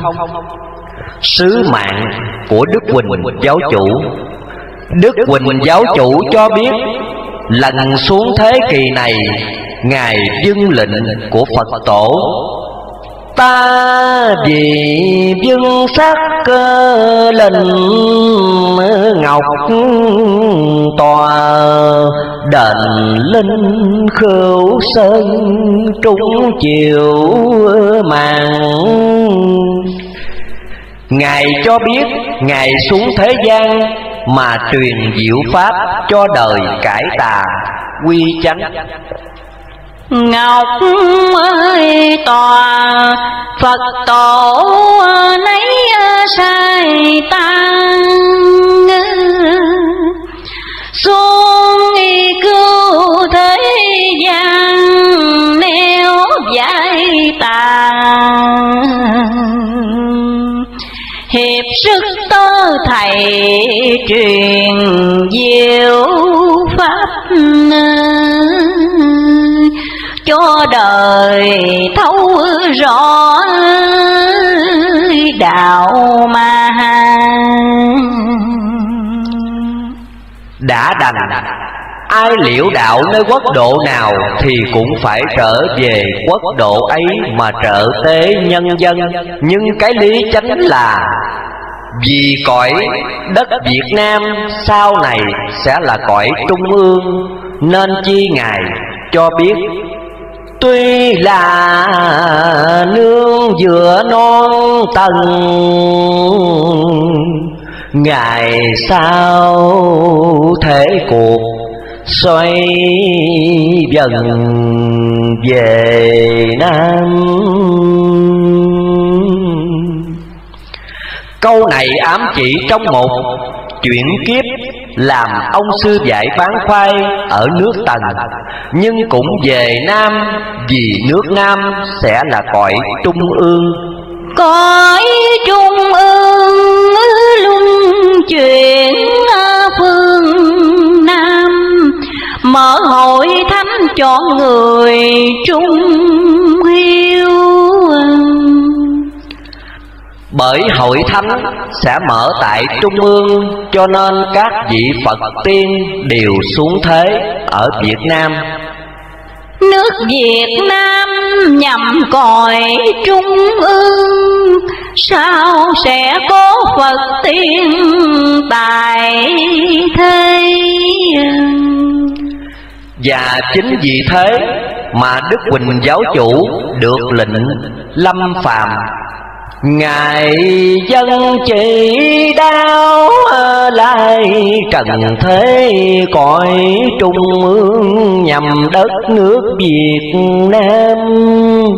Chọn một chàng tuổi trẻ tục phàm, mượn tay gã tờ qua thần hà bút. Để cảnh tỉnh người đời như Đức Phật Thầy Tây An và ông sư dạy bán khoai trước kia Ngài xưng khùng, xưng điên mà người đời. Mấy ai có biết? Ra đời xưng hiệu khùng điên. Nào ai có rõ thần tiên? Là gì? Mặc dầu người đời không biết, Ngài vẫn không gì đó Mà không dục thúc người đời. Tầm tiên lãnh tục. Điên như ta, Điên giống tiên rồng.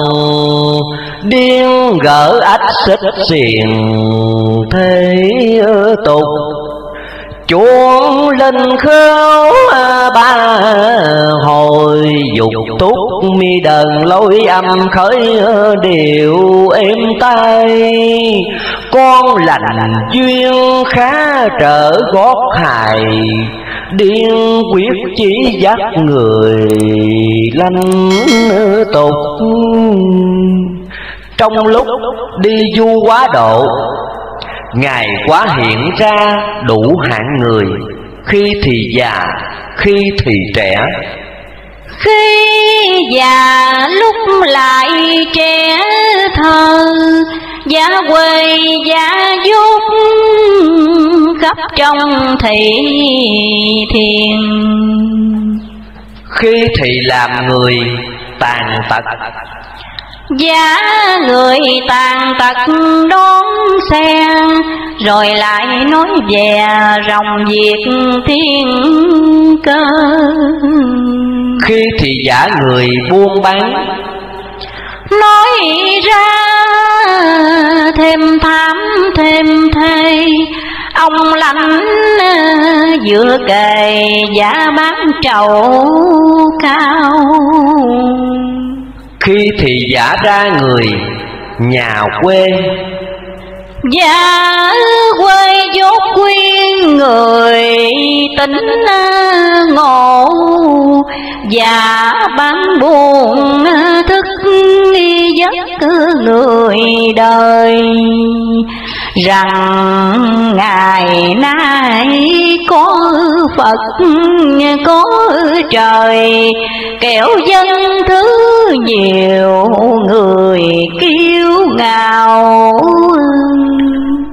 Đức Quỳnh giáo chủ không ngần ngại mà bày tỏ Cánh thiên trước thơm tho, nồng mới nạt Chẳng ở yên còn xuống phàm trần.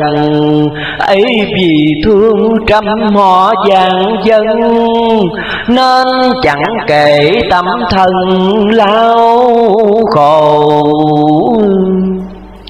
Đức Phật Thầy hay ông sư dạy bán khoai lâm phàm với sứ mạng chỉ thức tỉnh người đời tu hành cho kịp hội long qua đến như Đức huỳnh giáo chủ thì ngài cho biết, chẳng những ngài có sứ mạng nhắc nhở người đời mà ngài còn có đóng vai trò quan trọng trong hội long qua nữa. Muôn thu thiên định khắc cây hạ quân sắc lệnh khai cây long quang rang dẹt phá sương mù trước mắt. Chớ để cho quỷ dắt linh hồn lão đây biến lệnh phật tôn. Lãnh cần thượng phạt chư môn giữ lành. Khá chi tâm học hành kinh sám thốt nơi miền, hát ám phong ba. Trở chân cho kịp long hoa long hoa có mặt ấy là hiền nhân nào là cửa nhà tan nát. Bởi thế, hội long hoa là một trường thi lập ra để chọn người hiền đức. Long hoa, tiên phật, đau ta bà lừa lọc con lành, diệt quy ma nếu mày mê man mùi tục cơ lì linh hồn chìm đắm chôn nê hà có hội long hoa mới biết người hiền đức còn được bao nhiêu lập rồi, cái hồi long qua. Đặng coi hiền đức được là bao nhiêu. Gian tà hồn sát cùng tiêu, thảm thương ba tánh chính nhiều ruột đau. Nhưng hội long hoa sẽ lập ra như thế nào? Long qua hội ân cần lo lập lập cho rồi tam thập lục nhân. Lối âm dục khởi tiên đần, thất sơn giấy loạn là cơn hiểm nghèo nơi phía trước treo leo tiếng khóc, đứng sau lưng hình dốc dậy chân. Nước kia lửa nọ tưng bừng, thảm cho thế sự lấy lừng nạn tay. Thời cũng tại không ai tu niệm cứ lặng lơ, ngạo biên khoe khoang. Đến nay là buổi tai nàng tam thiên lục bá khắp tràng hại dân. Đến thân dầu thanh thần nao đồng thảm cho trần nhà trong chuồng quan tiếng than lụy ngọc mi nhỏ tràn. Nạn tay dồn dập xóm làng còn chi Đại lược thảm trạng của hội Long Hoa sẽ diễn ra như thế. Nhưng trước khi đi đến hội Long Hoa, Cuộc thế sẽ biến chuyển ra làm sao? Giảng về các tai biến. Cũng như ông sư dạy bán khoai và ông ba thới Đức Quỳnh giáo chủ cũng nhận hội Long Hoa là một trường thi lập ra để chọn người hiền đức bởi thế, muốn đi đến hội Long Hoa, Có mặt trong hội Long Hoa Không phải là một việc dễ. Vì người có mặt trong hội Long Hoa Hẳn là người hiền mới được. Trợ chân cho kịp Long Hoa Long Hoa có mặt ấy là hiền nhân. Có mặt trong hội Long Hoa đã là một việc khó thì hội Long Hoa chẳng phải lập lên một sớm, một chiều hay lập lên trong cảnh thái bình. Vốn là một cuộc lọc lừa để chọn con tiên cháu Phật, cho nên được đi đến hội Long Hoa. Con người phải trải qua bao nhiêu biến thiên, nguy khổn trong sự chuyển xây trái đất? Phải chuyển xoay trái đất một bầu đắng lửa lọc con tiên cháu Phật.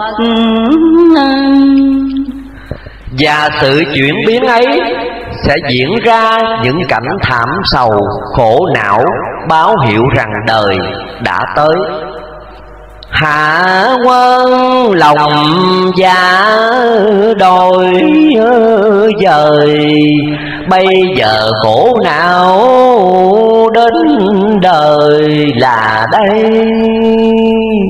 Cảnh thảm khổ đã xảy ra ở ngoại quốc. Rồi đây nó sẽ diễn đến nước nam. Cảnh thảm khổ chiều mai sẽ đến. Sao vẫn còn chiều mến trần mây? Mắt nhìn ngoài quốc thầm thế.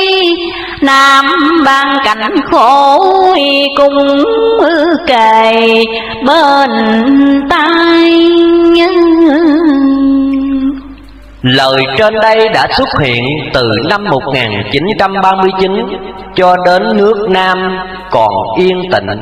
Mặc dầu thấy yên, nhưng Đức Quỳnh giáo chủ cho biết trước, Ai mà biết cơ đặng ngày mai, Ngày nay yên tình ngày mai tham sầu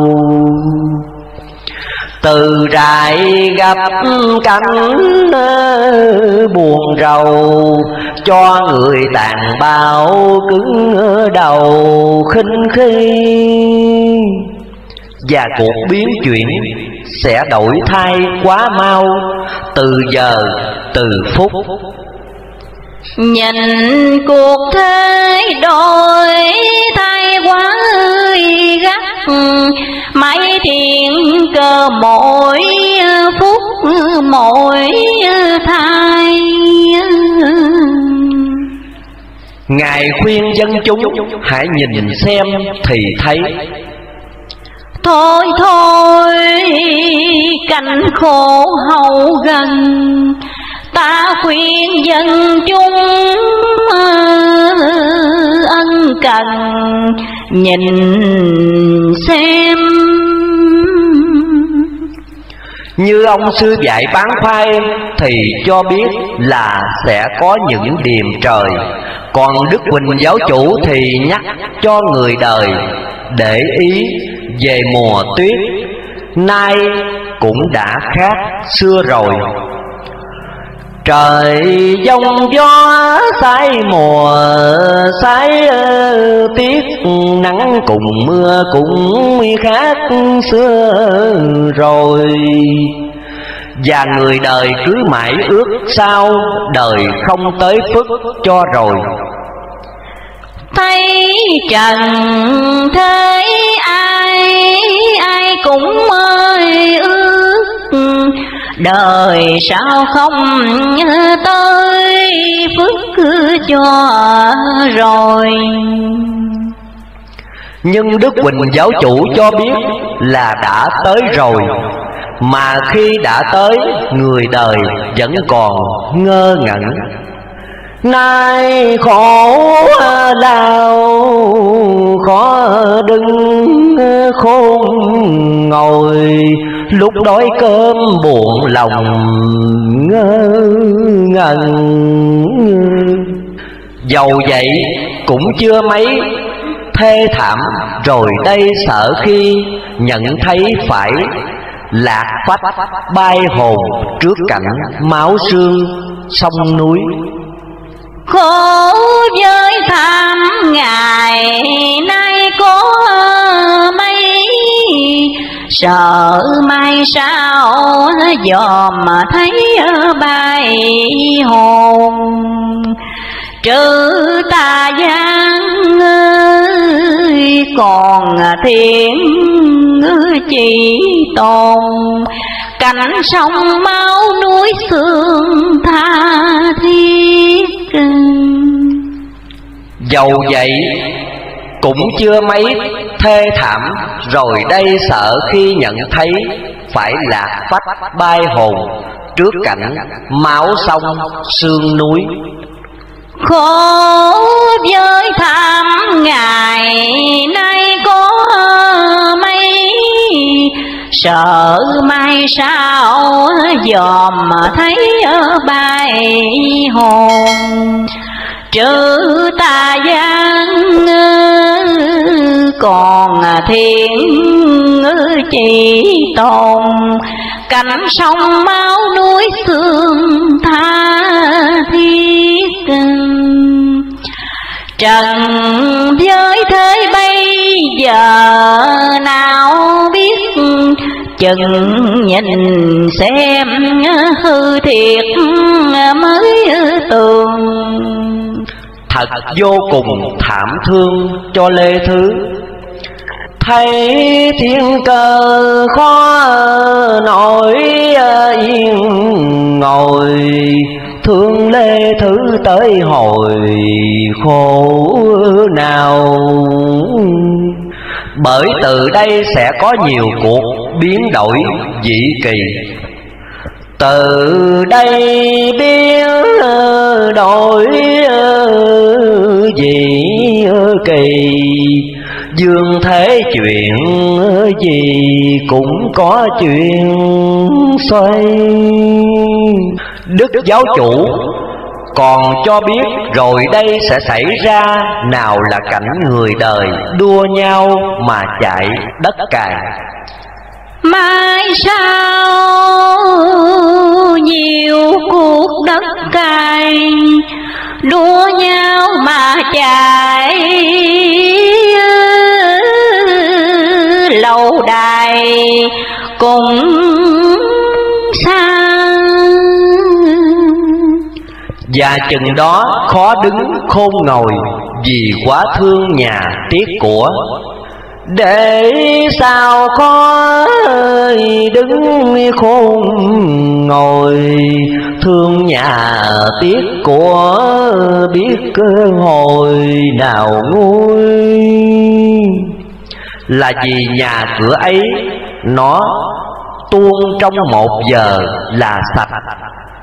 Giàu sang như nước trên nguồn, gặp cơn mưa lớn, nó tuôn một giờ. Nào giặc giả bốn phương nổi lên. Đến chừng đó bốn phương có giặc? Khắp hoàng cầu thiết thiết tha tha. Nào là nạn đói khó trong bốn đạo từ đây kim chỉ đối với nghèo sắp đến bây giờ, mà một khi nạn đói xảy ra thì người đời phải điêu linh vì nó kéo dài đến năm năm sáu tháng. Bửu ngọc trường quang ơi, ẩn tích cây sơn đài lộ vẻ liễu quyền di. Kỳ thăm ta già thi thành thủy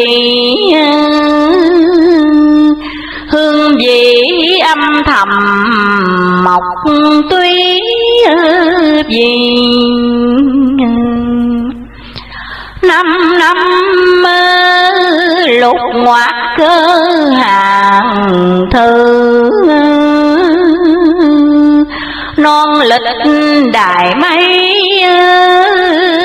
rạng tu mi mãi niên hòa địa nhân hiền thu núi ngự hoàng sáng từ đỉnh chi cái nạn đói này Đức Quỳnh giáo chủ cho biết kéo dài cho đến ngày lập đời thượng quân mới dứt. Ngũ điên diễn ơi lự cơ hàng. Đến chừng quy phục hấn đàn mới yên. Bởi thế, Ngài hằng khuyên những người giàu có Kẻ phú quý đừng dông cơm ngồi Sao đói lòng chẳng có mà dùng. Cũng như Ngài đã khuyên cả mọi người. Khuyên trần sớm liệu bắp khoai Cháo rau đỡ da tháng ngày cho qua Về nạn đói Chúng ta thấy Đức Quỳnh giáo chủ nhận định như ông sư dạy bán khoai Về thời hạn 5 năm 6 tháng. Đây là lời của ông sư dạy bán khoai. Năm năm sau tháng lòng đồng, Nhân dân thiên hạ mắt vòng gian nan. Hoặc là Năm năm sau tháng cơ hàng, Quỷ dương gây loạn nào an thế trần? Nào là nạn quỷ dương gây tai nạn cho dân chúng, Ông sư dạy bán khoai vừa nói trên. Đạo quỷ dương rất nhiều chi nhắm, Khuyên dương trần, sớm tranh mới màu. Để ngày sau đến việc thảm sầu. Ráng nghe kỹ lời ta mắt trước Đức Quỳnh giáo chủ cho biết là trời đã mở cửa cho nó xuống. Thời kỳ này nhiều quý cùng ma Trời mở cửa quỷ dương xuống thế. Nó rất tin tưởng, biết cả tên người mà kêu. Sao quỷ dương đi đứng nửa lần, Thêm tên tuổi chúng sanh nó biết làm đủ cách xuống lên tha thiết. Ở ngoài đường nó biết à, tên mình khắp thế giới cửa nhà tan nát, cùng xóm làng thưa thớt quạnh hiu. Bấy lâu nay nuôi dưỡng chắc chiêu, nay tận diệt lập đời trở lại. Nào là cha con chồng vợ, lạc nhau, nhà không ai ở cha nọ bồng con, vợ khóc hoàng tan nát xóm giềng khổ dữ an. Nhà không kẻ ở ôi, nói trước chẳng tin lời gặp thiết tha. Ngoài những tai biến vừa kể Đức Quỳnh giáo chủ còn cho biết nào là nạn ách Ác thú, kỳ hình, dị trạng, sát hại sanh linh. Đúng như ông sư dạy bán khoai Và ông Ba Thới đã cho biết Chúng ta thử so sánh. Đây là lời ông sư dạy bán khoai. Thu sao nhiều thứ gì kỳ, biết sao cho hết các cơ thì thú này lớp bay, lớp chạy lăng xăng, chừng đó cầu nguyện phật ngừa đặng đâu và đây là lời của ông ba thới có hổ lan ác thú tới nhà. Hầm tha sâu bắt trẻ già thương ôi đây là lời của đức quỳnh giáo chủ. Mưa sâu thì quả cũng thăm ngày sau sẽ biết thú cầm trình ghê hầm béo tay tường bốn bề, lại thêm ác thú mạng xà rít to các loài thú ấy đều biết bay. Đúng như ông sư dạy bán khoai đã viết hổ lan ác thú muôn bầy. Lớp bay lớp chạy sau này đã đoan.